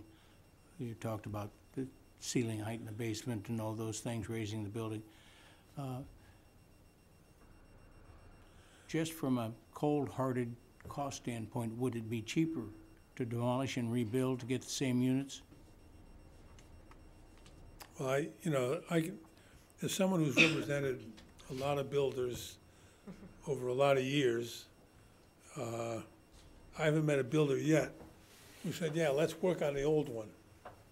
Because all you have to do is uh, take a, a wall that's not true and make everything fit against it. I think, I think the simple answer is, John understands there are additional costs in maintaining this building, but he's really committed to uh, the structure. And so, And- And a commitment to the community. The historic part is important to me, it's why I was interested in the project. So that's essentially a component of your commitment? It's more commitment. expensive to save the structure, probably. Thank you. Any other, uh, Craig? Mr. Chairman, thank you. Um, Are there any plans for having an on-site property manager, assuming everything goes as planned and you have 10, 10 apartments and roughly 20 people living there, is there any plan about a property manager on-site or partially on-site? It's not profitable enough at ten units for me to hire someone to manage the property, so it will be me. Um, If this is successful and working with towns like this, building this type of housing is a good business, I will keep doing it. And eventually, hopefully, I'm not answering the phone calls, but the first year I'll be answering the phone calls. Thank you. And did I hear that right? You would be interested in occupying, possibly? Well, I'm currently in Hyannis, um, so it's slightly insulting, but uh, uh, potentially. I mean, Harwich is unbelievable. There's a reason there's nothing for sale in Harwich. Everyone knows that. And, and for whatever it's worth, I mean, John's family has had a connection to Harwich uh, since 1980. His grandparents uh, bought a house down on Glen Dune there behind the chuck wagon. Chuck wagon. And Oh, the, and the, you know, and his aunt, my wife, has uh, been a resident of the town for over 30 years. Uh, His uncle Terry, they- he and his wife have a house on Gorham Road that they've lived in for 30 years. So, you know, the, um, you know, John has a lot of connections to Harwich, was one reason why he thinks so highly of the town. Yeah, I'm not going anywhere once it's built. You can find me and ask me anything you want. Well, we've certainly got a, half of us, I think, are kind of supportive here. I mean, Yeah, how do you want us to convey our feelings? No, just simply, all you have to say is, you think it's a good project. Yeah. And that's, you know, yes, Mr. Wysack, please. Good evening, Mr. Chairman, members of the board. I'm sorry, I had another meeting, and I was listening to the conversation on my way over here. And- And I wanted to speak if I could. Um, Yesterday, you're correct, Mr. Riley. Um, Yesterday, I was at the joint meeting of the Board of Selectmen and the Harwich Affordable Housing Trust. And the conversation for two hours about housing in this community and the issues and the lack of housing. And I've been a housing advocate for years. We built one of the first new developments up at the end of Driftwood Lane, known as Community Way. That was built and, and is, is still an affordable project today. In fact, one of the chairs of our committee still lives there as an affordable house. This project, in, in keeping the exterior, the historical exterior, with a minor modification, is essential. The Housing Forum in Hyannis, about a month ago, there was a statistic that was utilized. It said for the average person on Cape Cod to afford the average home requires an income, a family income of $200,000. And I ask, I look at this room and say, I wonder how many in this room have a family income of greater than 200,000 who could afford the average home in the Cape today. Most cannot. And many I know could not afford the homes they live in today at today's prices. I'm a landlord over the line in Dennisport, an apartment complex that has over 60 units. And all of the emotional turmoil I heard of the drugs and the graffiti and all of these things that are going to happen, go visit Saltworks Village on Upper County Road in Dennisport. One of the best managed apartment complexes. Majority of those units are one bedroom. I'm a landlord. Average over there is 1,750 to $2,000 a month for rent. That is market today, folks. And what this community needs, if you look at our public safety, the incoming firefighters and policemen who are earning forty to fifty thousand dollars a year cannot afford a house.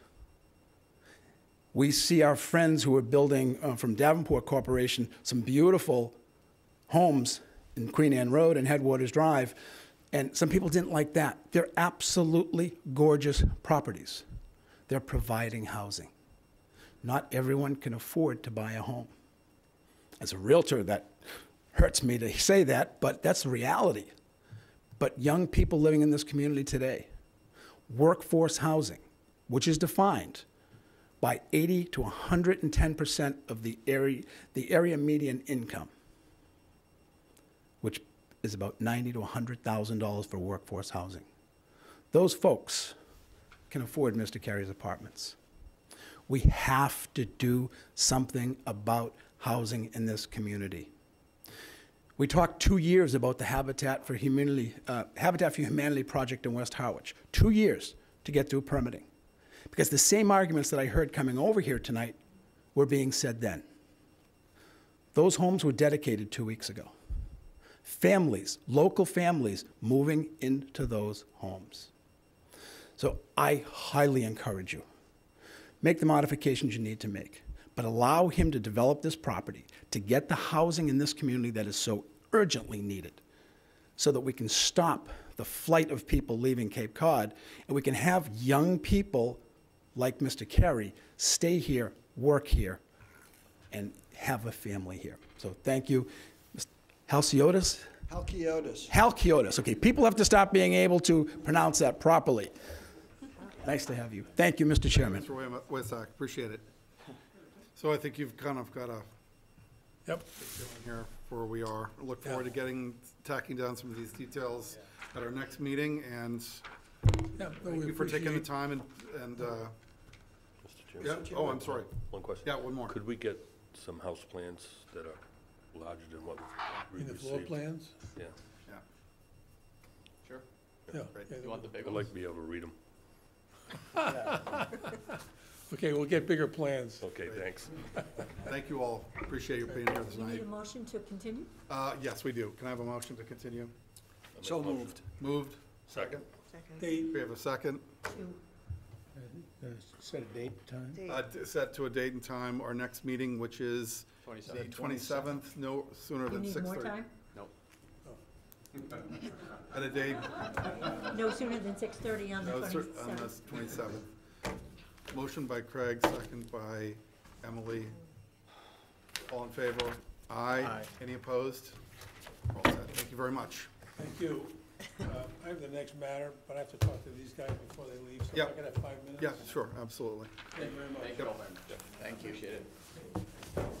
So, uh, in using that next couple of minutes, why don't we hop down to um, minutes? We have the minutes here.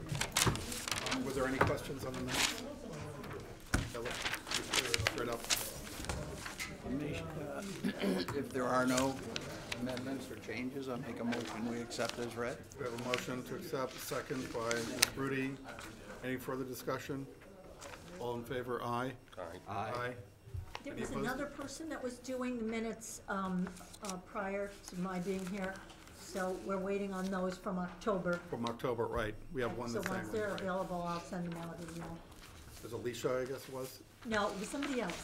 I Somebody don't, else, okay. so I'm working with, um, Megan. Okay, great. Perfect.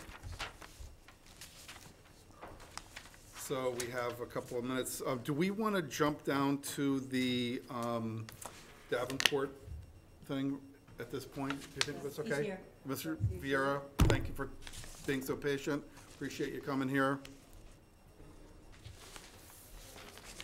So uh, this is the public meeting portion of the uh, planning board this evening. We're going to be talking about uh, the 1997 number 2189 open space definitive plan approved on March 18th, 1997.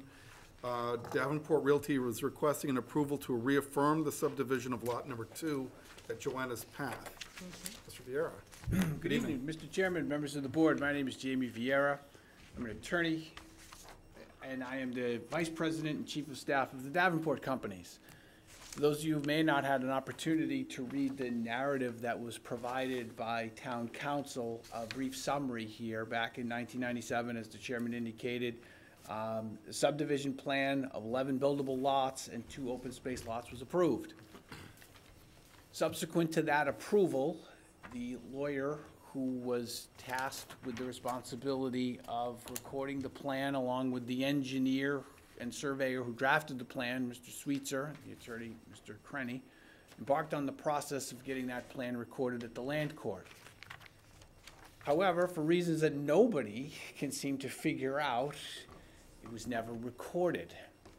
The trail runs cold where the original Mylar may be. The files of Mr. Sweetser, he doesn't have it. The files of Mr. Crenny's office and the predecessors and successors, they don't have it. The land court had no reference of ever receiving it or even being advised that it was there.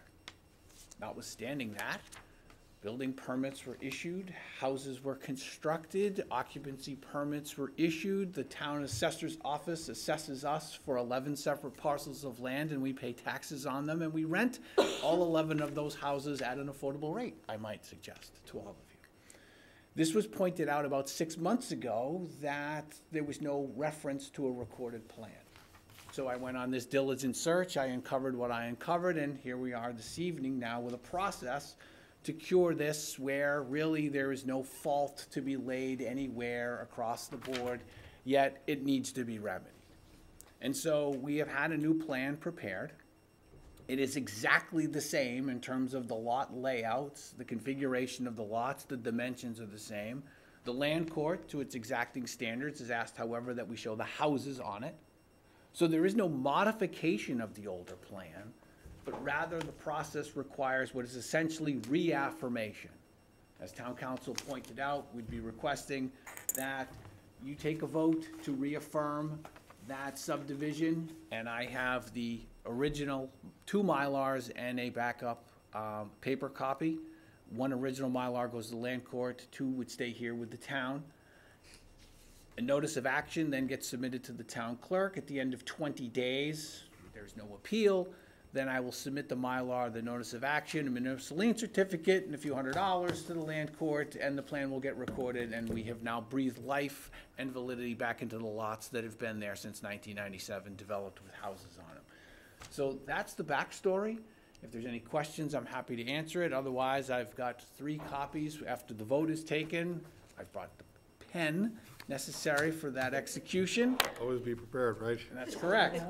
And so, um, with that, um, that's my story, and I'm hoping that you would act favorably on the request. All right, well, um, all due, uh, understood. I think the paper trail issue is totally clear. We get it, you know, this is one of these things that falls through the, um, great. However, I had a conversation with Paul this afternoon, and there was one dangling issue about deed integrity, or title integrity.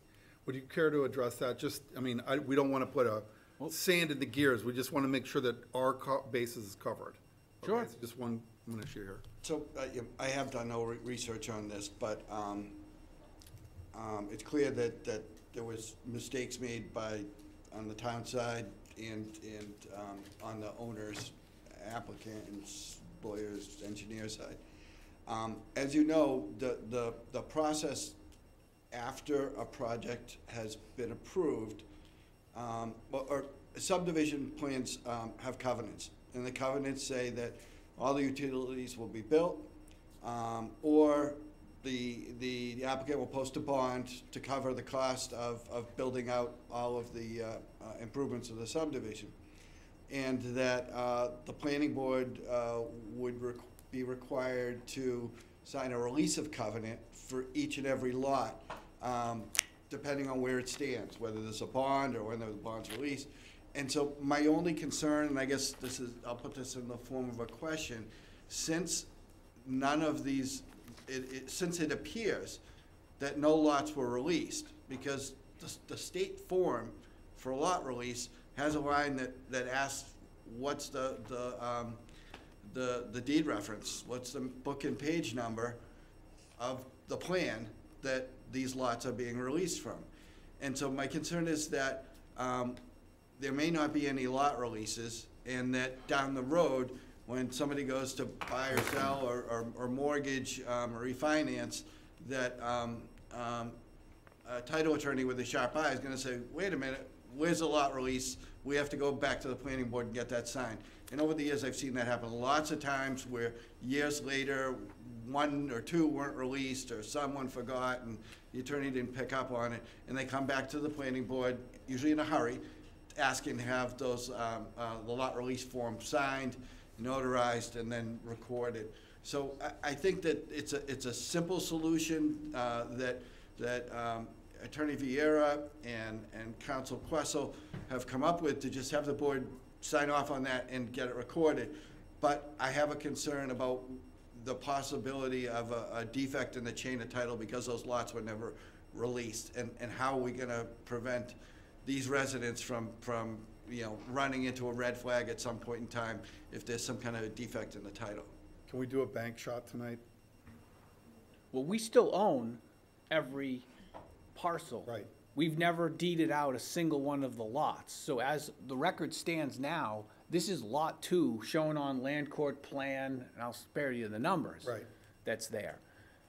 When this was all done back in the day and things were released, there were sign-offs on the road, on the utilities, on all of that, because there was no way to get building permits otherwise. Everyone seemed to assume and operate on the fact that the plan had gone to record and the lots were there. So whatever was required by way of covenants was released back at the time where we wouldn't have got building permits. So I'm comfortable with the title issue, and I guess I'm the one that would have to assume the risk on the title issue here in, in going forward with this. So I'm comfortable with the occupancy permits, the covenants that were there were released, the road is already done and the utilities are in, and we haven't deeded anything out.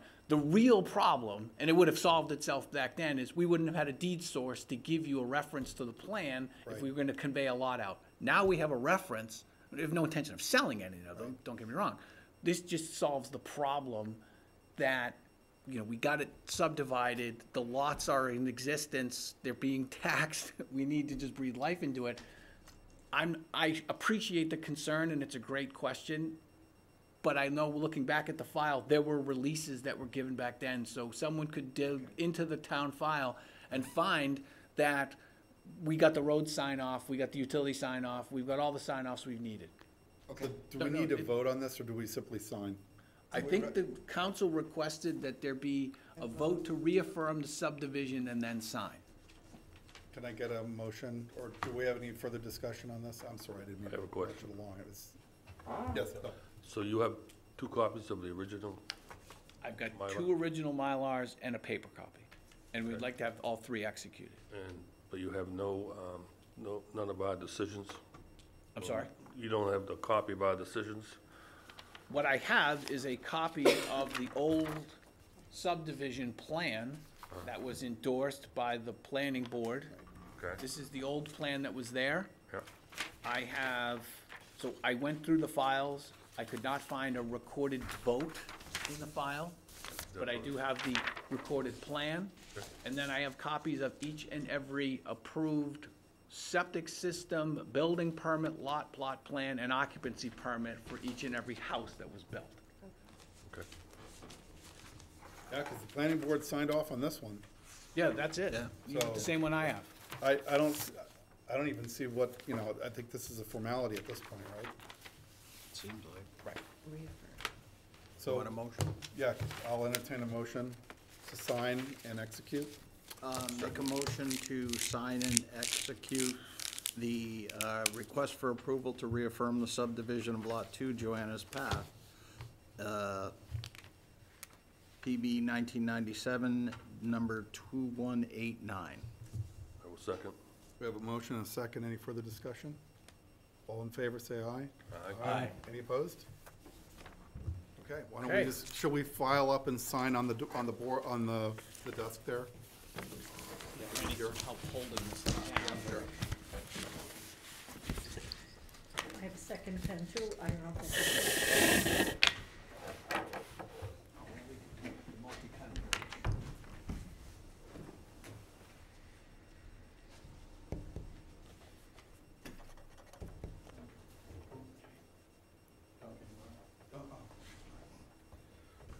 Dave Harris.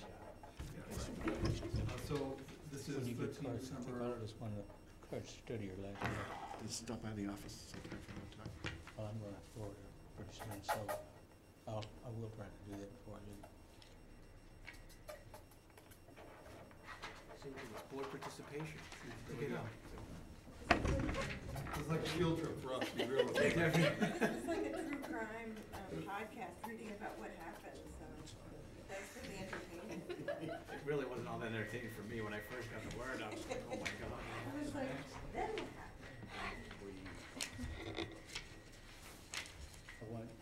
It's literally a cold case. Yes. Right, exactly. That's what it What this sounded like. was. It, it just, it just, Just the trail went just absolutely cold. Duncan, Yes. we also have to vote on, uh, continuing the Eastwood one, or is that one that, Uh, yeah, let's do a vote on that, just Yeah. because they requested it, and let's confirm it, No, yeah, wait, good idea. more, none of them are on. And then, um, let's do that real quickly, and then we can finish up with, uh, Stone Horse.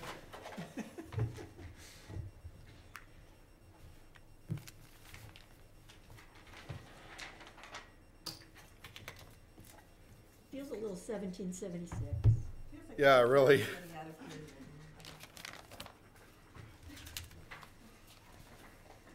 We just need breeches and tricorns and It's a wigs. wigs, what am I thinking? Of all people.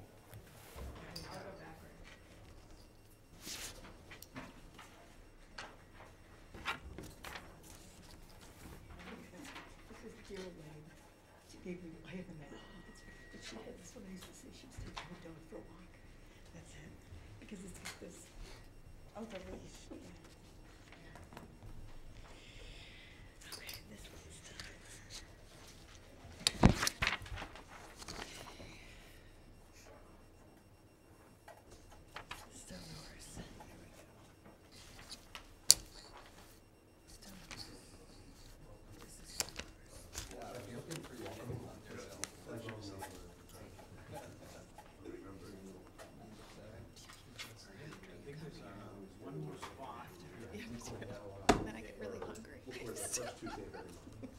Someone left a Skittles. Sneak it in, sneak it in under there. There's a Skittles wrapper under here, and I'm like, Ooh, let's split it. it's empty, unfortunately. Good to see you too. I haven't seen you in a gym.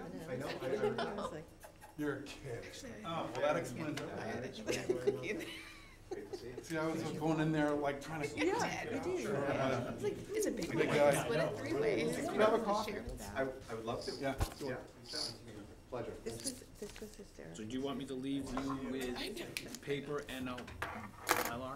Yes, and so will I take those down to the clerk as well?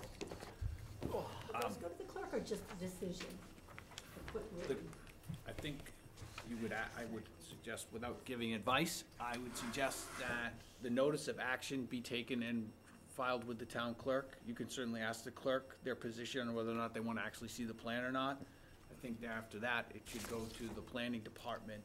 And then ultimately, once I record the plan, I'll provide proof of a recorded plan to the tax collector's office, and then they can make notation of that on the reference to the tax bills. Do you want to write the notice of action and Uh, send? Is that a form that you have in some I, respect? I can do that. Okay, you'll do that, kind of. Great.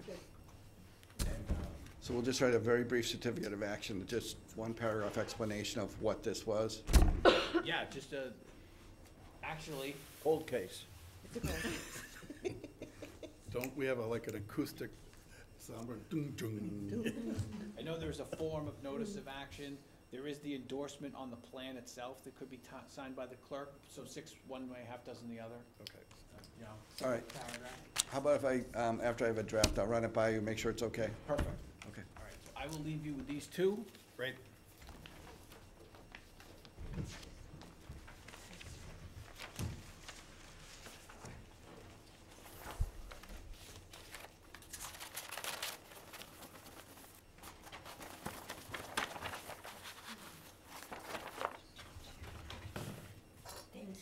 Joe, thank Thank you, you. Mr. Vieira. Nice to get this put it behind us after twenty-four years or whatever. Finally. now we can What's sleep at twenty-four years? Right. Bill?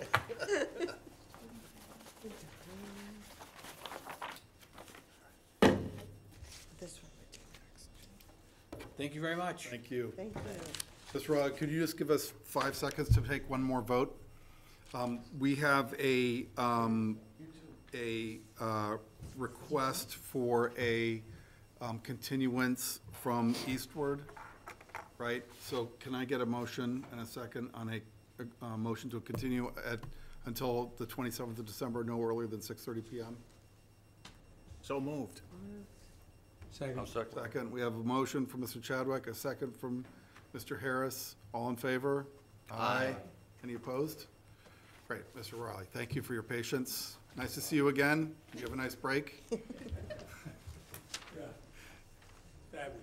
Good. So we're back at Stone Horse and not the yacht Stone club. Horse in, in the, uh, so, I was a little confused, uh, Okay. the last time we were here. The, um, uh, I've been speaking with Elaine Banta, Right. our dear departed Elaine. Yeah, don't say it that way. Relocated. Relocated. Relocate. Well, Gone that's to the what- heaven known as the Recreation Right, Department. right, right. Anyway, and, and she mentioned three things that we should address. And so I came in thinking, that's what we're gonna talk about. I didn't realize that the list of adjustments or modifications had never been discussed here. Right. So, uh, now I know. So what I'd like to do, uh, is kind of review them Okay, right now, get your thoughts on them. okay. Uh, see, you know, so apparently Mr. Rudnick discussed them with, uh, I assume Elaine, but I really don't know, but clearly with Ray Chesley. Right, And I guess, then we sent this letter, he sent the letter, uh, listing all the changes, and nobody said anything. So he's thinking, oh, he's thinking, oh, well, it must be okay, you know, Right. so, so, uh, uh, now we're back on the beam. Any change, any adjustments from the decision, the special permit decision, have to be approved by you, and, and Some have to, would- would have to have a, a new hearing. Right. Modify the original decision. Some, I think, would be minor and not require a new hearing. So, um, I'd like to discuss the things that you you refer to as adjustments and see which ones you think require a formal hearing, which ones uh, can we deal with, dealt with informally. So, Well, why don't we ask Paul, because I think the, I thought you had a great idea today of just saying, let's have a, a list of talking points and go through it, right? That we both agree on, all parties, and we come to sit and yeah, figure out how to get an occupancy permit here right. going, right? I mean, so, I think it would be helpful, so you said that there was a letter, and, and um, it would be helpful if the board had a copy of a letter that explained um, each thing that was uh, different, or built differently than what was on the approved plan, and it would be helpful to maybe have a, um, a plan that just kind of highlights the things that were changed from what was approved. Right. And then the board will have that in front of them, and they can, because I think what happens is we all go, get a copy of the plan, we all go out to the site, and we all come up with like, Yep. with seven different things, and instead of having Circus Maximus and a circular firing squad on you in the center, Oh, yeah. why Yeah, don't we- you tell we- us we what don't we're like looking at, those. right? Yeah, we don't want that, nobody wants that, so, Okay, so I. what do they say, M- help me, help you kind of thing, like, we Uh, And- and need to that's get a little fine. clarity, okay? So, I have this letter dated July eighteenth, twenty twenty-two, with fourteen items on it. Now, Right. Is this the letter we should be using? if that covers everything, then that would, that would work. Um, So you don't have a copy of that? We That don't just have came that in, letter. yeah. Right, so Oh, I you don't- go and make copies. Oh, you don't have a copy? July eighteenth? No, that was to the building commissioner, so that's, I It's think, just to the board members, to the planning board. That's- That's why I thought you folks were aware of it. Right. would you like for me to go make Can you, copies now? can we do that? Yes. Can we Is take that it? different than the July eighteenth, twenty twenty-two? No, that No, that is, so you have a copy of that? I have a copy. I think we all. have a it. I don't have a copy of that. One All right. home, But I would, I don't think I have a All copy. right, so I'll make a few. I'll be right Right. back. okay. We just take a couple minutes then and we'll all. But it- I do have to say, uh, without sucking up unnecessarily, it's great to have a town planner. Right, yeah, no Second question. the motion. Yeah, right. Yeah, Yeah, the, uh, you know, it's been tough for us, but it's been tough for you guys too. Oh, yeah. No Oh, kidding, yeah. yeah. Well, and I think tough too on the staff. Yeah. Who's, Yeah. for like basically three years, we've kind of been hobbling along with, you know, partial and then, you know, uh. The thing is, John interim Idman, and- the thing is, John Idman was so great. Right. and For him to just bail, you Yeah. know, was, That was Get a tough. better job or whatever. oh, yeah. no, I, you know, it's, I'm not criticizing him, but, you know, Our loss is Brewster's gain. Right. Clearly, clearly, clearly. the, um, Which has been the story since eighteen oh three, right? well, Chatham just, Very good, Doug. oh, Don't even uh, think Chatham about has it. been with, without a town planner for, for several months, five or six months now. And uh, we had a, a person who worked with us several years ago named Ryan Bennett. And then she went to Brewster, and she was in Brewster for several years. Then she ended up at uh, Barnstable, and she just, literally just started this week also. Uh, her her name now is Thank you so much. Ryan Christenberry. Please don't um, encourage anyone to go to Chatham unless they have to. I know. Oh, Is this our definitive list then? This is our list, I think, right now. That's Is it right. defi- Is it, Why, I'm surprised we didn't see this back in July or, we Uh, did Yeah, have we it didn't see it in July. yeah, so, July, but sometime, we had it quite a We had while it- ago. uh, We had it at it? last meeting. Yes, Right. well, we What even had it before that. Right. But we didn't have the we didn't have. as-built or, Well, right, we didn't have, Have the- so I, so I let's. have a, I have a plan. we have it now, we have an as-built now. Right, we have the as-built now. Yeah, okay, good. Yeah, because he, these just got dropped off at my office, so. So I, s- I recommend that as soon as we get this next copy in here, we go through this methodically, one by one. I know some of you have taken notes on doing drive-bys and walkthroughs, and we'll s- get this squared away tonight. Okay. And one of the questions that came up, uh, Thank you, Sheila. I really Thank you, appreciate it. Sheila. One of the questions that came up when we were last here was um, the number of rooms being used on a year-round basis, and uh, Mr. Rudnick says there are uh, 12 or 13 rooms being used, uh, which is, and 20 were authorized. Right. To use year-round. So, I'll Put that to bed. All right, so why don't we start at the top of the head parade here with number one, the handicap ramps on south and north ends of the new buildings. So I see the indication for walkways, crushed stone. Help me see the, the handicap ramps. Does anybody have a magnifying glass? I do. They- Okay, down. The ramps are- Right.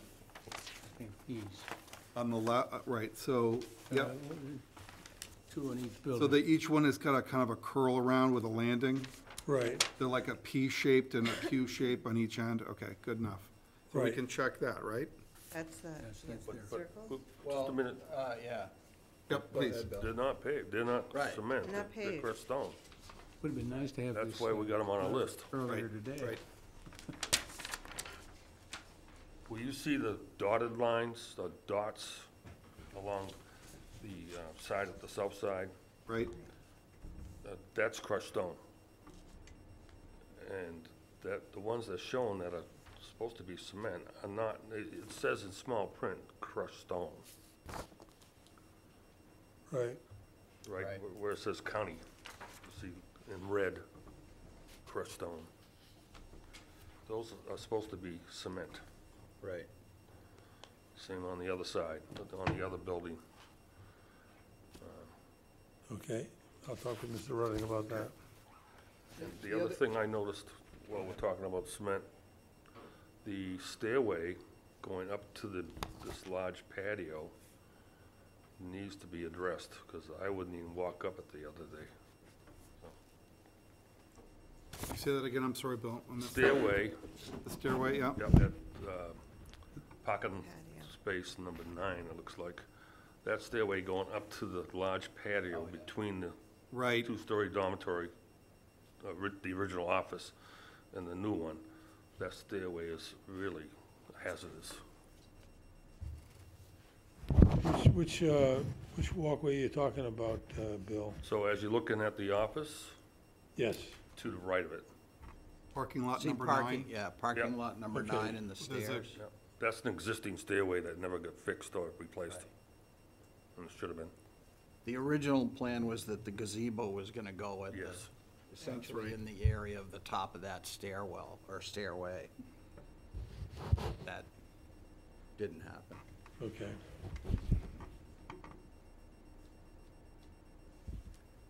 So we've got two cement issues then there.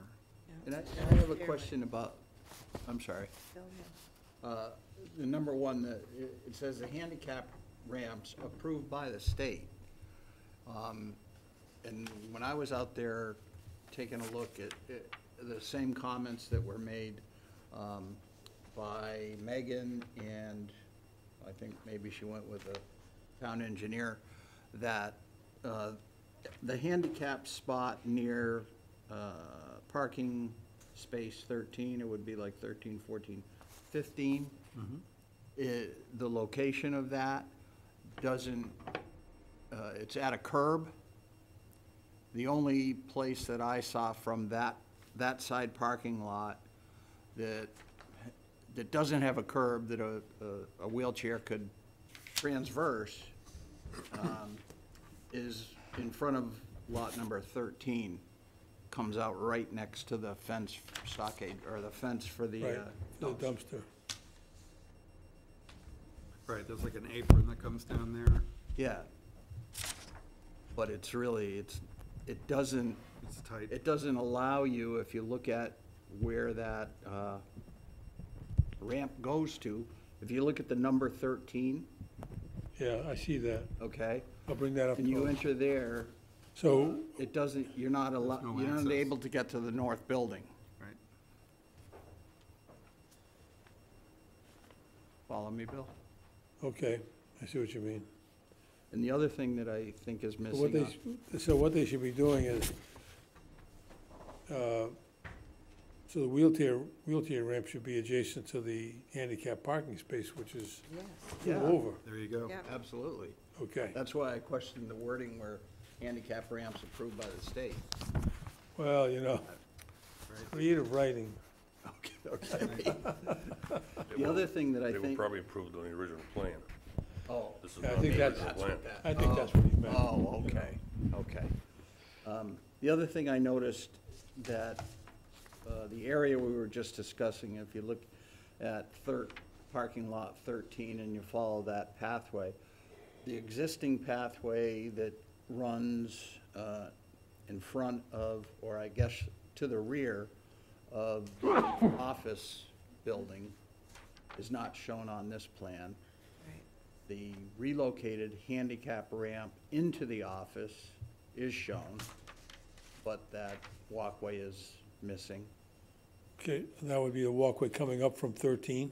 Mm-hmm. Well, if you go from thirteen, t- you know, where the large area is, there's a circle in the middle of it. Yeah. And then when you, if you drew a line from the edge of there to, to, along the back of the dorm, or along the the back office. of the office, I don't know how you're, it may go into the, the patio, or it may be on the other side of the handicap ramp. I'm not, Yeah. It's not accurate. I think that needs to be clear and clarified on here. Okay.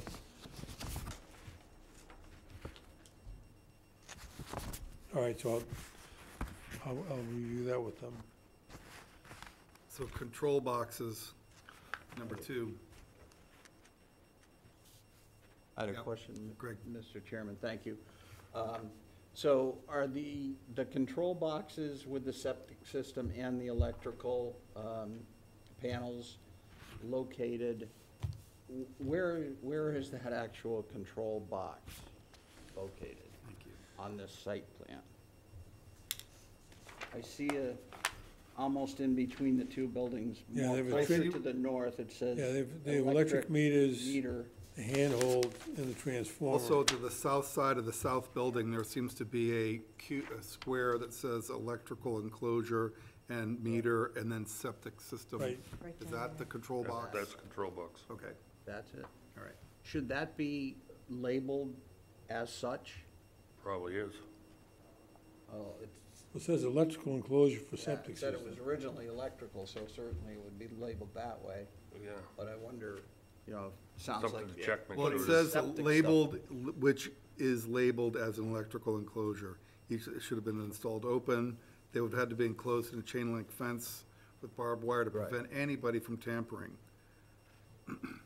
So it says electrical, but it should say el- now, ele- I would think, electrical and Right. Septic system Well, it says or electrical whatever. for septic, so I think, and it says meter is on the one side. Yeah, one's the meter, one's the electrical for the septic. Right. Oh, it's just for the electric, it's not for the rest? Thank you. So it looks like that's, are we clear on that? Is that a clear?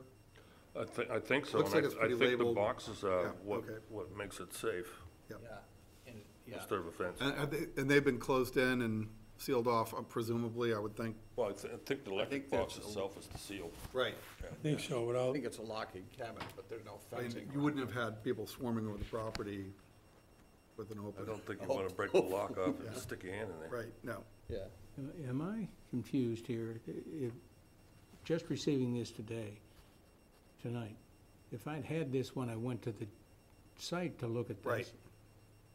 This, it would be much easier to, con- to be able to come to the point where we could sign off. right, Right.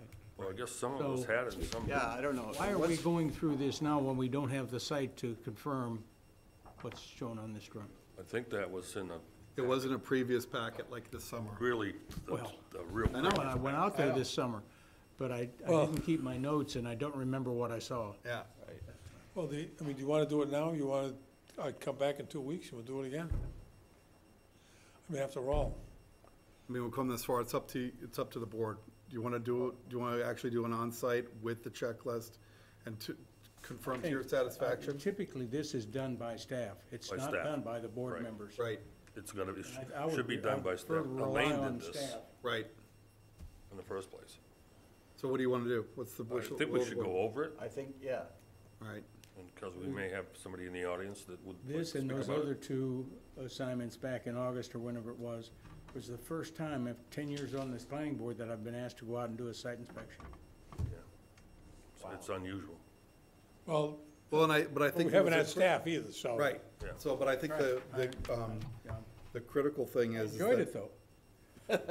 Well, that's good. But I think the critical thing is we want to get closure on this. Yeah, And I absolutely. think, I mean, for both parties and for the fact that, you know, you guys got trapped in COVID and a lot of stuff had to happen Right.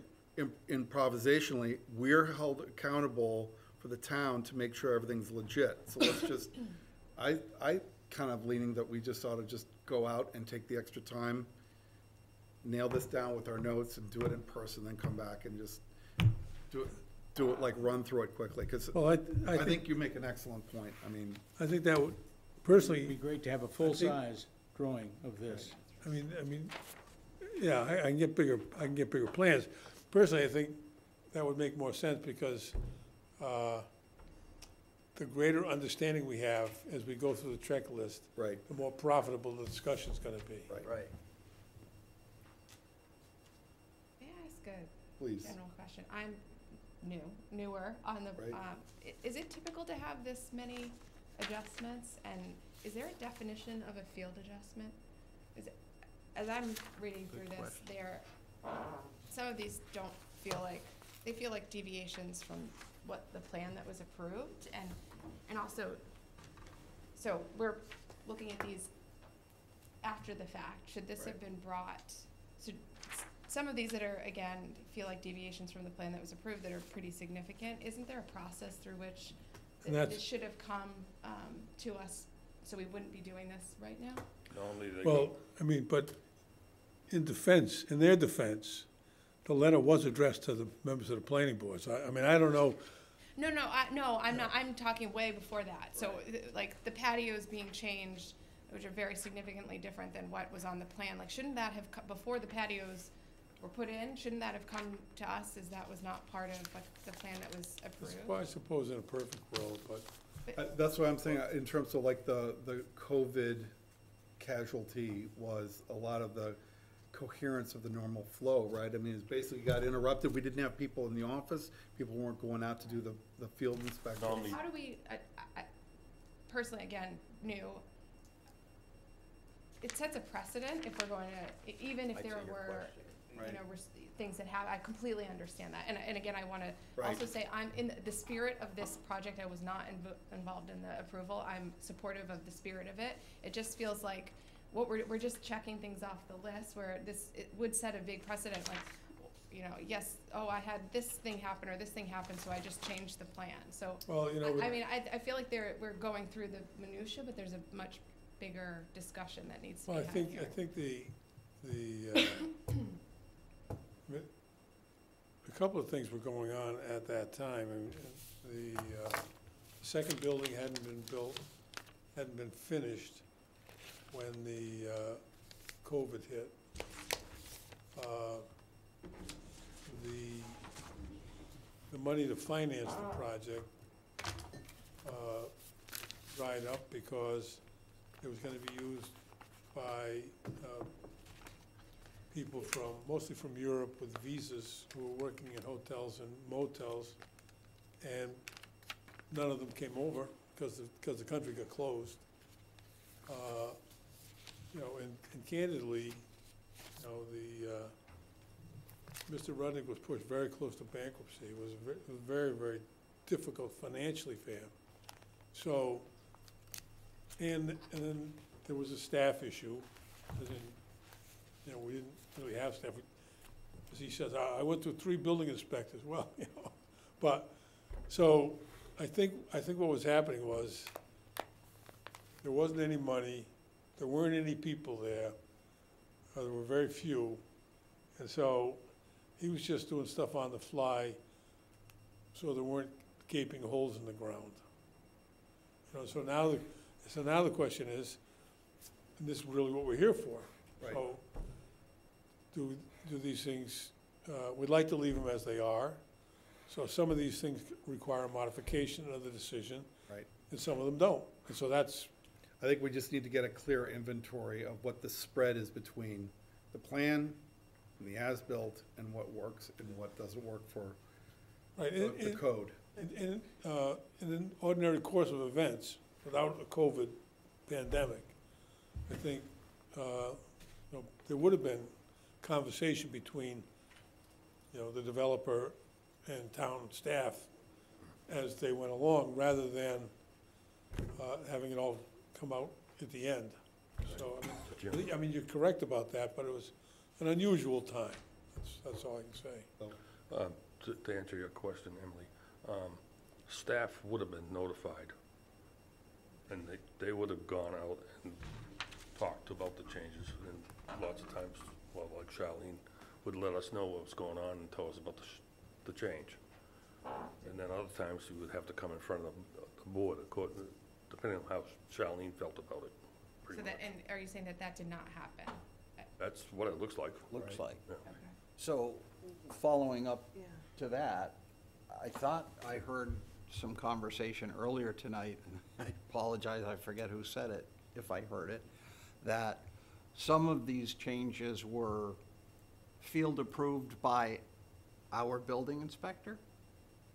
Or? I didn't, I- that I did not say. What I said was, Mr. Rudnick had reviewed all these with Ray Chesley. Okay, that's what I heard. Uh, And I think that review resulted in this letter.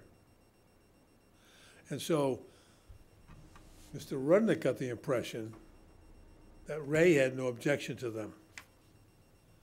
Uh, But Ray's gone on to Right. greener pastures, I guess, or calmer pastures. So, uh, I mean, all, all I get, you know, I mean, Well, fo- following up on Emily's question, um, and for my edification as well, is the process um, in Harwich that th- who becomes responsible for yay or naying, okaying the changes in the field during construction? And if it is Ray or the building inspector who goes down there and says, okay, well, instead of two patios, you want to do one, yeah, that's no problem, I can do it. So then our role is not present then. If the building inspector has done that and said that, then why are you here before us? What are we doing now? Well- the, you know, the, the, uh, well, I think because, you know, a letter was sent to the planning board, you know, um,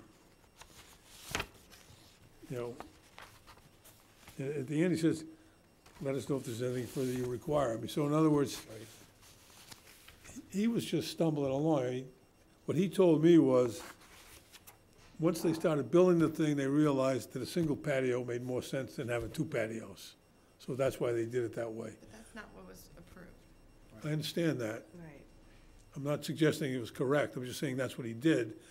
In the field, with the people that were there, it made more sense to do it this way. So he did it, which he should have checked with the town, but he didn't. At least as far as I know, he didn't. Uh, But so the, and so that's why I say, so some of these things require modifications, and some of them are not significant and don't require modification. That's, that's how I started the applic, you know, my, you know, talk with you today, and that's sort of what we want to do. So I think what Dave has suggested, and and Duncan seems to have approved it, you know, uh, go out, you've got the list, look, go out to the site, look at it, and then we come back and talk about it, and then, then we can discuss, you know, rather than saying you sh- you shouldn't have done that, let's just say, this is okay, this requires a modification, that's not okay. Right. Once you've had a chance to, to look at it. Using the patio as an example, had the original plan that came before us for approval shown the patio the way it's now constructed, would we approve that, or would say, oh, no, you've gotta have two patios? Of course not. We would have said probably what he's actually built is fine. So Right. those are the kinds of ways I think we need to look at this. Yeah, I mean, without, without getting away from the fact that they should have been cleared with staff before it was done. I think what happens with us is when we get in kind of like a double bind, where somebody takes action, and then the town, you know, has approved something that's not honored in actuality, and then, you know, then we're the pro, we get, you know, No, so that, we just gotta square this away. So I think, you know, what Dave recommends is, makes absolute sense. Although, Mr. Chairman, with your Yeah. permission, it was also related to the parking. So I went Right. there specifically today, having read the abutters letter to say, what does the parking look like today? Right.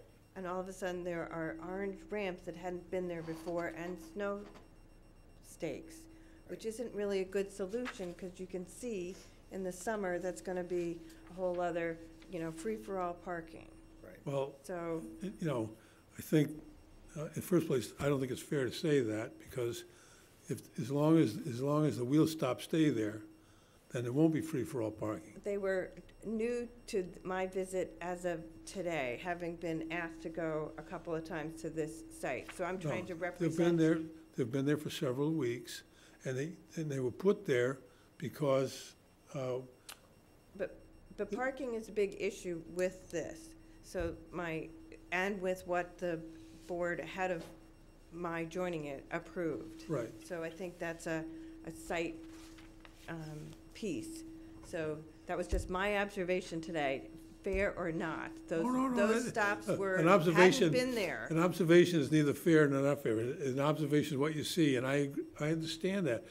But the, the wheel stops have been there for at least a couple of weeks, because, uh, when I, before I came here, he had been told, one of the things Elaine had said was, you've got people parking on that gravel area, you have to stop that, and that's why those wheel stops went in. Sure, eh, but our job is to listen to the neighbors, listen to the abutters, see if it has been built correctly. You know, I looked at to see whether the trees were alive, they're not alive. I mean, all those kind of things that we were asked to do. So going, moving this forward, and one of the big issues is parking. Right. Do we address this by staff, or do we address this by like a, a field trip, where we go down th- this together and see whether everything is as it is? Because I also noted the handicap, how do you get in? If There's not continuance as, as well. We're gonna need a And also copy to of move this on landscape to the plan. next place. Yeah, Yeah. landscaping and. Landscaping's said not also- there, It lighting's not there. Had been approved. Need a copy of the landscape plan. So how do we, how do we move it forward and what's our Well, next step? I, I think that probably between now and December twenty-seventh, nobody's doing anything important, so we can, what do we say we all meet? Twenty-fifth, let's say Emily eight doesn't thirty have AM. kids. Except for tonight, of course. Nothing going. Nothing going on. Nothing going on. So I, I think that this is probably gonna be better if we kinda each, I mean, I've done a couple of runs out there now. Yeah. So, I mean, and each one is like, I'm looking, what am I looking at kind of thing. So I think this is gonna solve, I- having the plan and the letter, to me, is like the map and the code and the decoder ring. I think I can figure some of the stuff out. Dave, I'd like sorry. to, I'd like to hear from Paul. Yes, on thank you. How he sees his role in this, even though you're new, Right. it's still your job in some ways. So th- there, there may be some language in the zoning bylaw about how modifications to approved plans are handled. Um, I haven't looked for that yet, so I, so I, I don't know what is codified and, and what the rules are, but I can tell you how we usually handle these things. Um, unfortunately, um, there are almost always some changes to an approved plan. Oh, yeah. Um, oftentimes, the types of trees that were, um, shown on the plan, oh, we couldn't get them, or the nursery didn't have. So, um, there, there are clearly modifications to a plan that are minor, and others that are, are maybe bigger, that should be considered by the board. And in some cases, um, if they're significant, um, there should be a, another hearing scheduled, and the abutter should have a chance to, to weigh in on, on, on major modifications. The trouble is that gray area of what's minor and what's major. And um, in my last job, they actually had in their site plan review rules and regulations that the planner had the authority to approve minor modifications.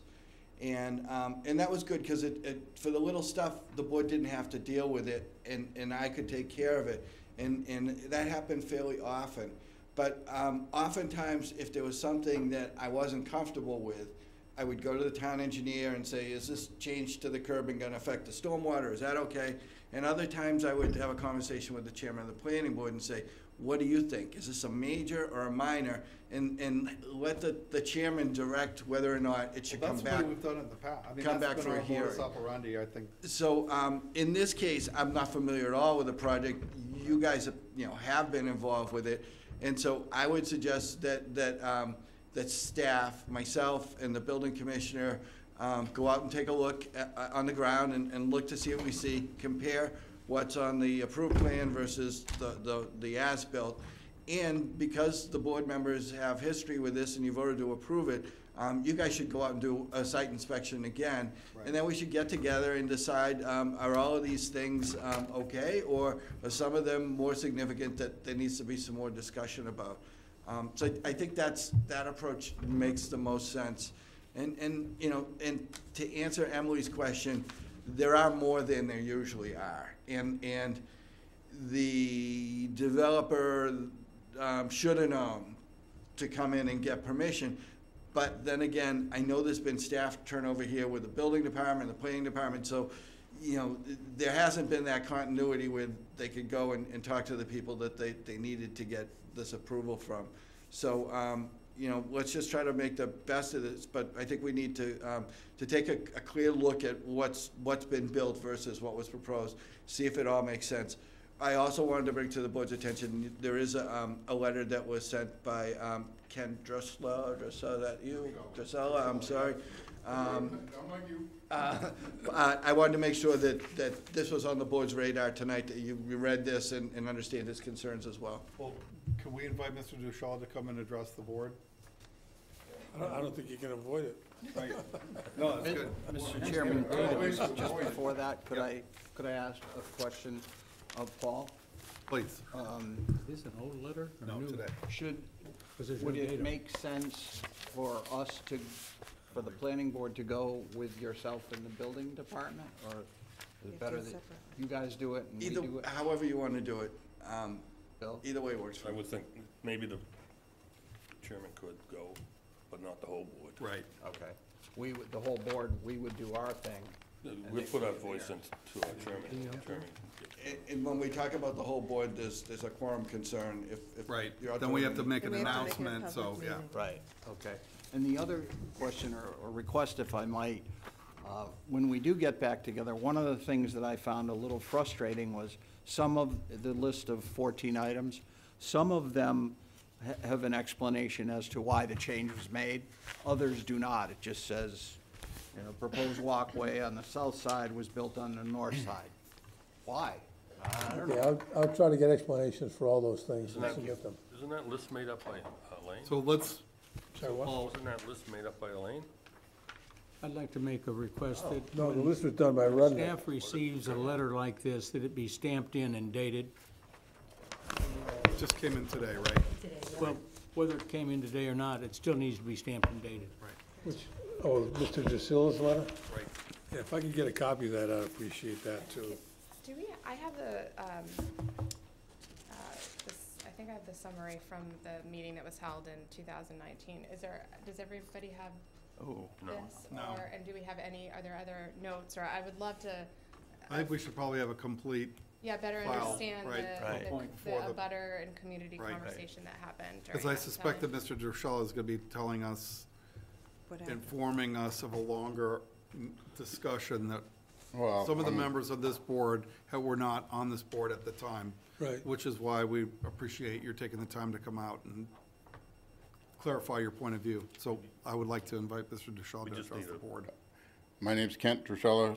I represent the large, the landowner that abuts the property at 39 Old County Road. Um, Well, first off, I guess some, the letter that was here, supplied here tonight, that's a letter supplied by Stone Horse Main Street LLC. So that should not be considered an all-inclusive list. This, this is generated by them. Um, I guess next, I don't quite understand, the attorney and the builder, they should be embarrassed by sitting here having to explain to the board what's been on this piece of paper for three years.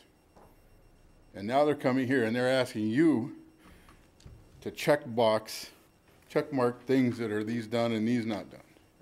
Their job is to come to you with a finished plan, as close to possible as what was done in 2019, with a complete planting of the entire property, have it done, and ask for the sign-off from the planning board. Why are you babysitting them? Why are you gonna go do job site or field inspections? That's their job. Their job is to bring you a finished product. The idea of them doing field changes on their own makes a big difference. That big patio they put out there in front of one building brings all of the people to that one spot. There's a reason the designer that they hired separated them, was to prevent that. Now it's all in one spot. They don't have any kind of paved walkways. It's their job to figure out. They did it wrong. I don't get you guys. You should hold his feet to the fire and make him complete the job. Three years. Forget COVID, forget all these other excuses. That stuff should have been done the first time. Don't get it. And I'm gonna sit there and watch them every day they go over there and work on it to make sure that I understand, and I will come back to you guys and explain to you what they did, what they improvised on their own. Parking, everything is on here. You guys created, the, the, the planning board created the, the outline of the project. They agreed to it. They signed off on it. They brought information in. They asked for variances and waivers and everything else for parking, go from seventy to seventeen. They got what they asked for. This board took two meetings to approve this whole project. That was it. Two half-hour sit-downs, done, stamped, done. Hold their feet to the fire. Don't do their work for them. Don't get it. I appreciate the fact you're gonna extend it, and I appreciate the fact that we actually have a town planner and a building commissioner, who I sent that same letter to today, notifying of all the issues that have been a pain in the butt for three years. I still don't get it. They should be embarrassed. If he's a developer, he knows his stuff. Don't let him get away with it. If you have any questions, I'll answer them. Thank you, sir. Nope, okay. Well, we just saw this when we sat down, Yeah, so I understand. we haven't had a chance to kind of fully digest. Yeah, what it's it- part of the list that you can add to his fourteen bullet points, but And I- that should I- not be the everything. 'cause Right, that- and I, I appreciate your, your um, sentiment, and um, just for the sake of clarity here is, we're kind of working our way out of this, and like I said, there are three of us who were not on the board at the time, so this is, some of this is some new information for us. It's been going on for 2019. three, on their part, it's been going on, they've been getting away with murder. They've been getting away with, and I should use that term on that property, but they've been getting away with a lot of stuff over there that they should not be getting away with. Right. And the, all you're addressing right now is the outside issues. Right. Nobody knows what the inside issues are. I said, that's why I sent the letter to the building commissioner, so he can follow up on the inside part, because they're operating with absolutely no paperwork. All right, well, I appreciate it, sir. So, I suggest I go with the planner and the building inspector, and we come back with a um, coherent document for the rest of the board. We'll meet here at six AM, December twenty-fifth, I'm just kidding, for the twenty-seventh, okay? Well, why don't, why don't we move it into January? You wanna do it in January, And move it to the first meeting in January, I mean, January tenth. the tenth? The tenth. You okay with that? Okay, I'm good with that. So let's take a move, a motion. Can I Yeah, one more please. thing? Um, Absolutely. Site plan, I, the as-built, I think the math is wrong on the site coverage. If you add it up, it comes to twenty-nine, nine, one, five, and it's noted as twenty-seven, eight, seven, three. I think we'd want get the arithmetic Correct. right, yeah. on Yeah. there. So maybe we could get. I had some that questions updated. about some of If. I could have done math, I would have been a doctor, but, you know, I'm just. I did, I used, I used Excel. I did it a couple times on my computer in Excel, so it wasn't, it wasn't in the app. but- Wow, that's impressive. I know. I would never have thought to like do the math. I'll, I'll, I'll take it up with the engineer. Right, Mr. Chairman, I have one question. Can we get a copy of the sign-offs from um, fire department, police, or whoever has to sign off the occupancy permit? Paul, can we get that? Yeah, is it, have they, have they signed a you have it? temporary? There is, there is, there is, sorry. There was a temporary, right? It was a temporary from what we- occupancy that's expired. Yeah, so, so a temporary CO that's expired means there's no certificate of occupancy, and if there are people living there, um, that's an issue, or a- at multiple levels, there's an issue there.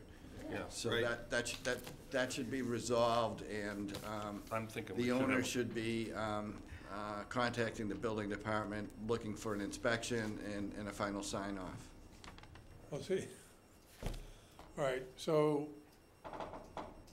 the last time we talked to a building inspector, which was the temporary guy who was here for thirty days or whatever it was. Right.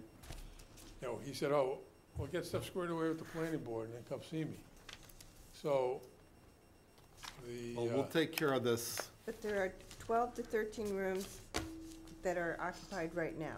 That's Right. where we started from. So to this, to your point, that's not a good scenario. Right.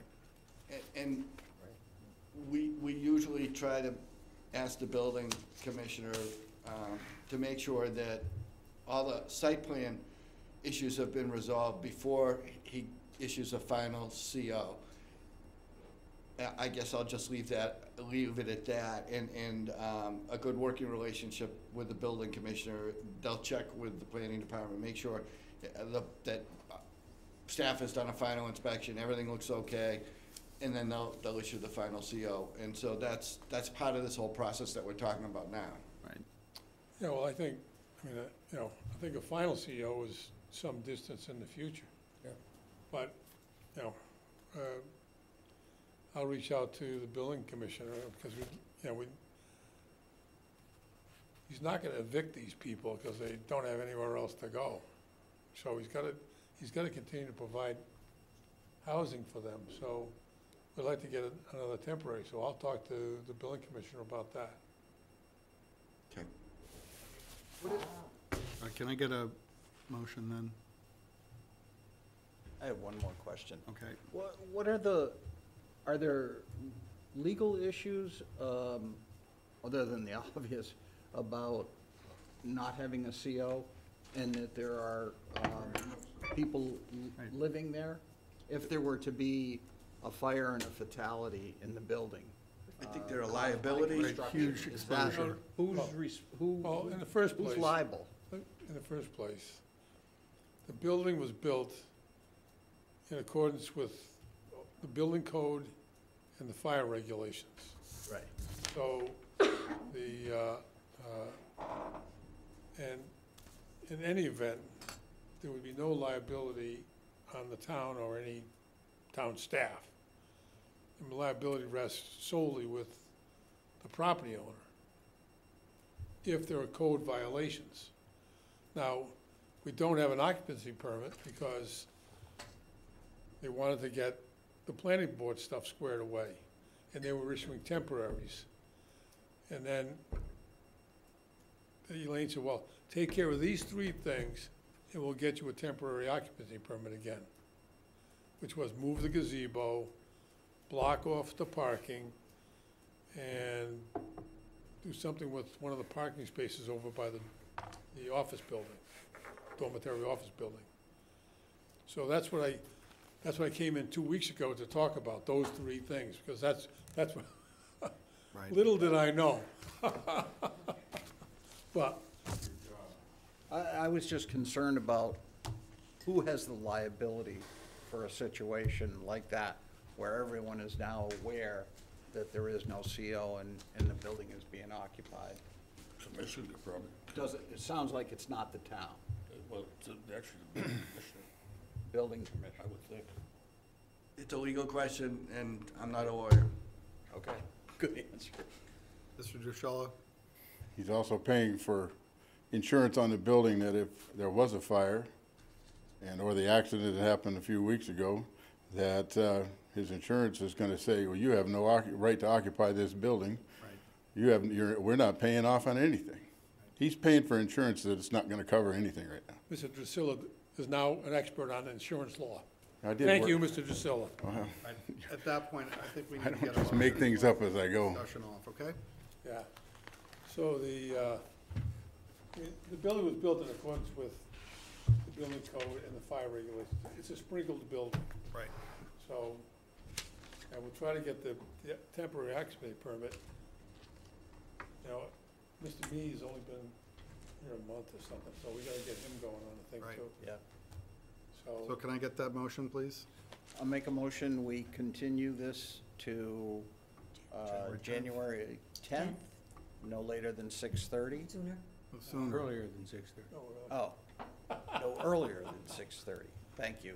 Have a motion, Second. second, any further discussion? Second.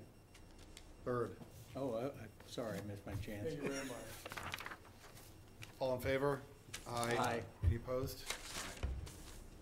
We will get, and, um, Paul, please let me know when the three of us can get together to get on site, and we'll do that, you know, that week after Christmas is like, let's just do it as soon as we can after, you know, we come back to the office, just, even if it's for like a, you know, forty-five minute, you know, meet on the site kind of thing. All right, we should try to get it done as soon as possible while we can still see the ground. Absolutely, and if we can do it before, that's even fine, so.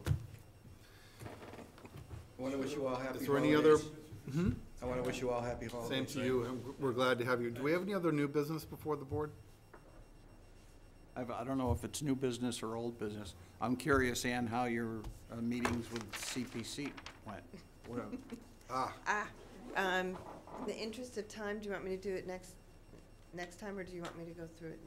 uh, let's do it next time, I just, because it's Yeah, after that's nine. fine. It's and- after nine, and, Yeah, yeah. Yeah, that's fine. Um, it was very good, it's a very good process, and we presented on December fifth, Yeah. and I have the details. well, let's, Motion to adjourn? twenty-seventh. Motion to, We have a motion? So moved. So We have a move, second, all in favor? aye. Aye. Okay. I just don't want to have people get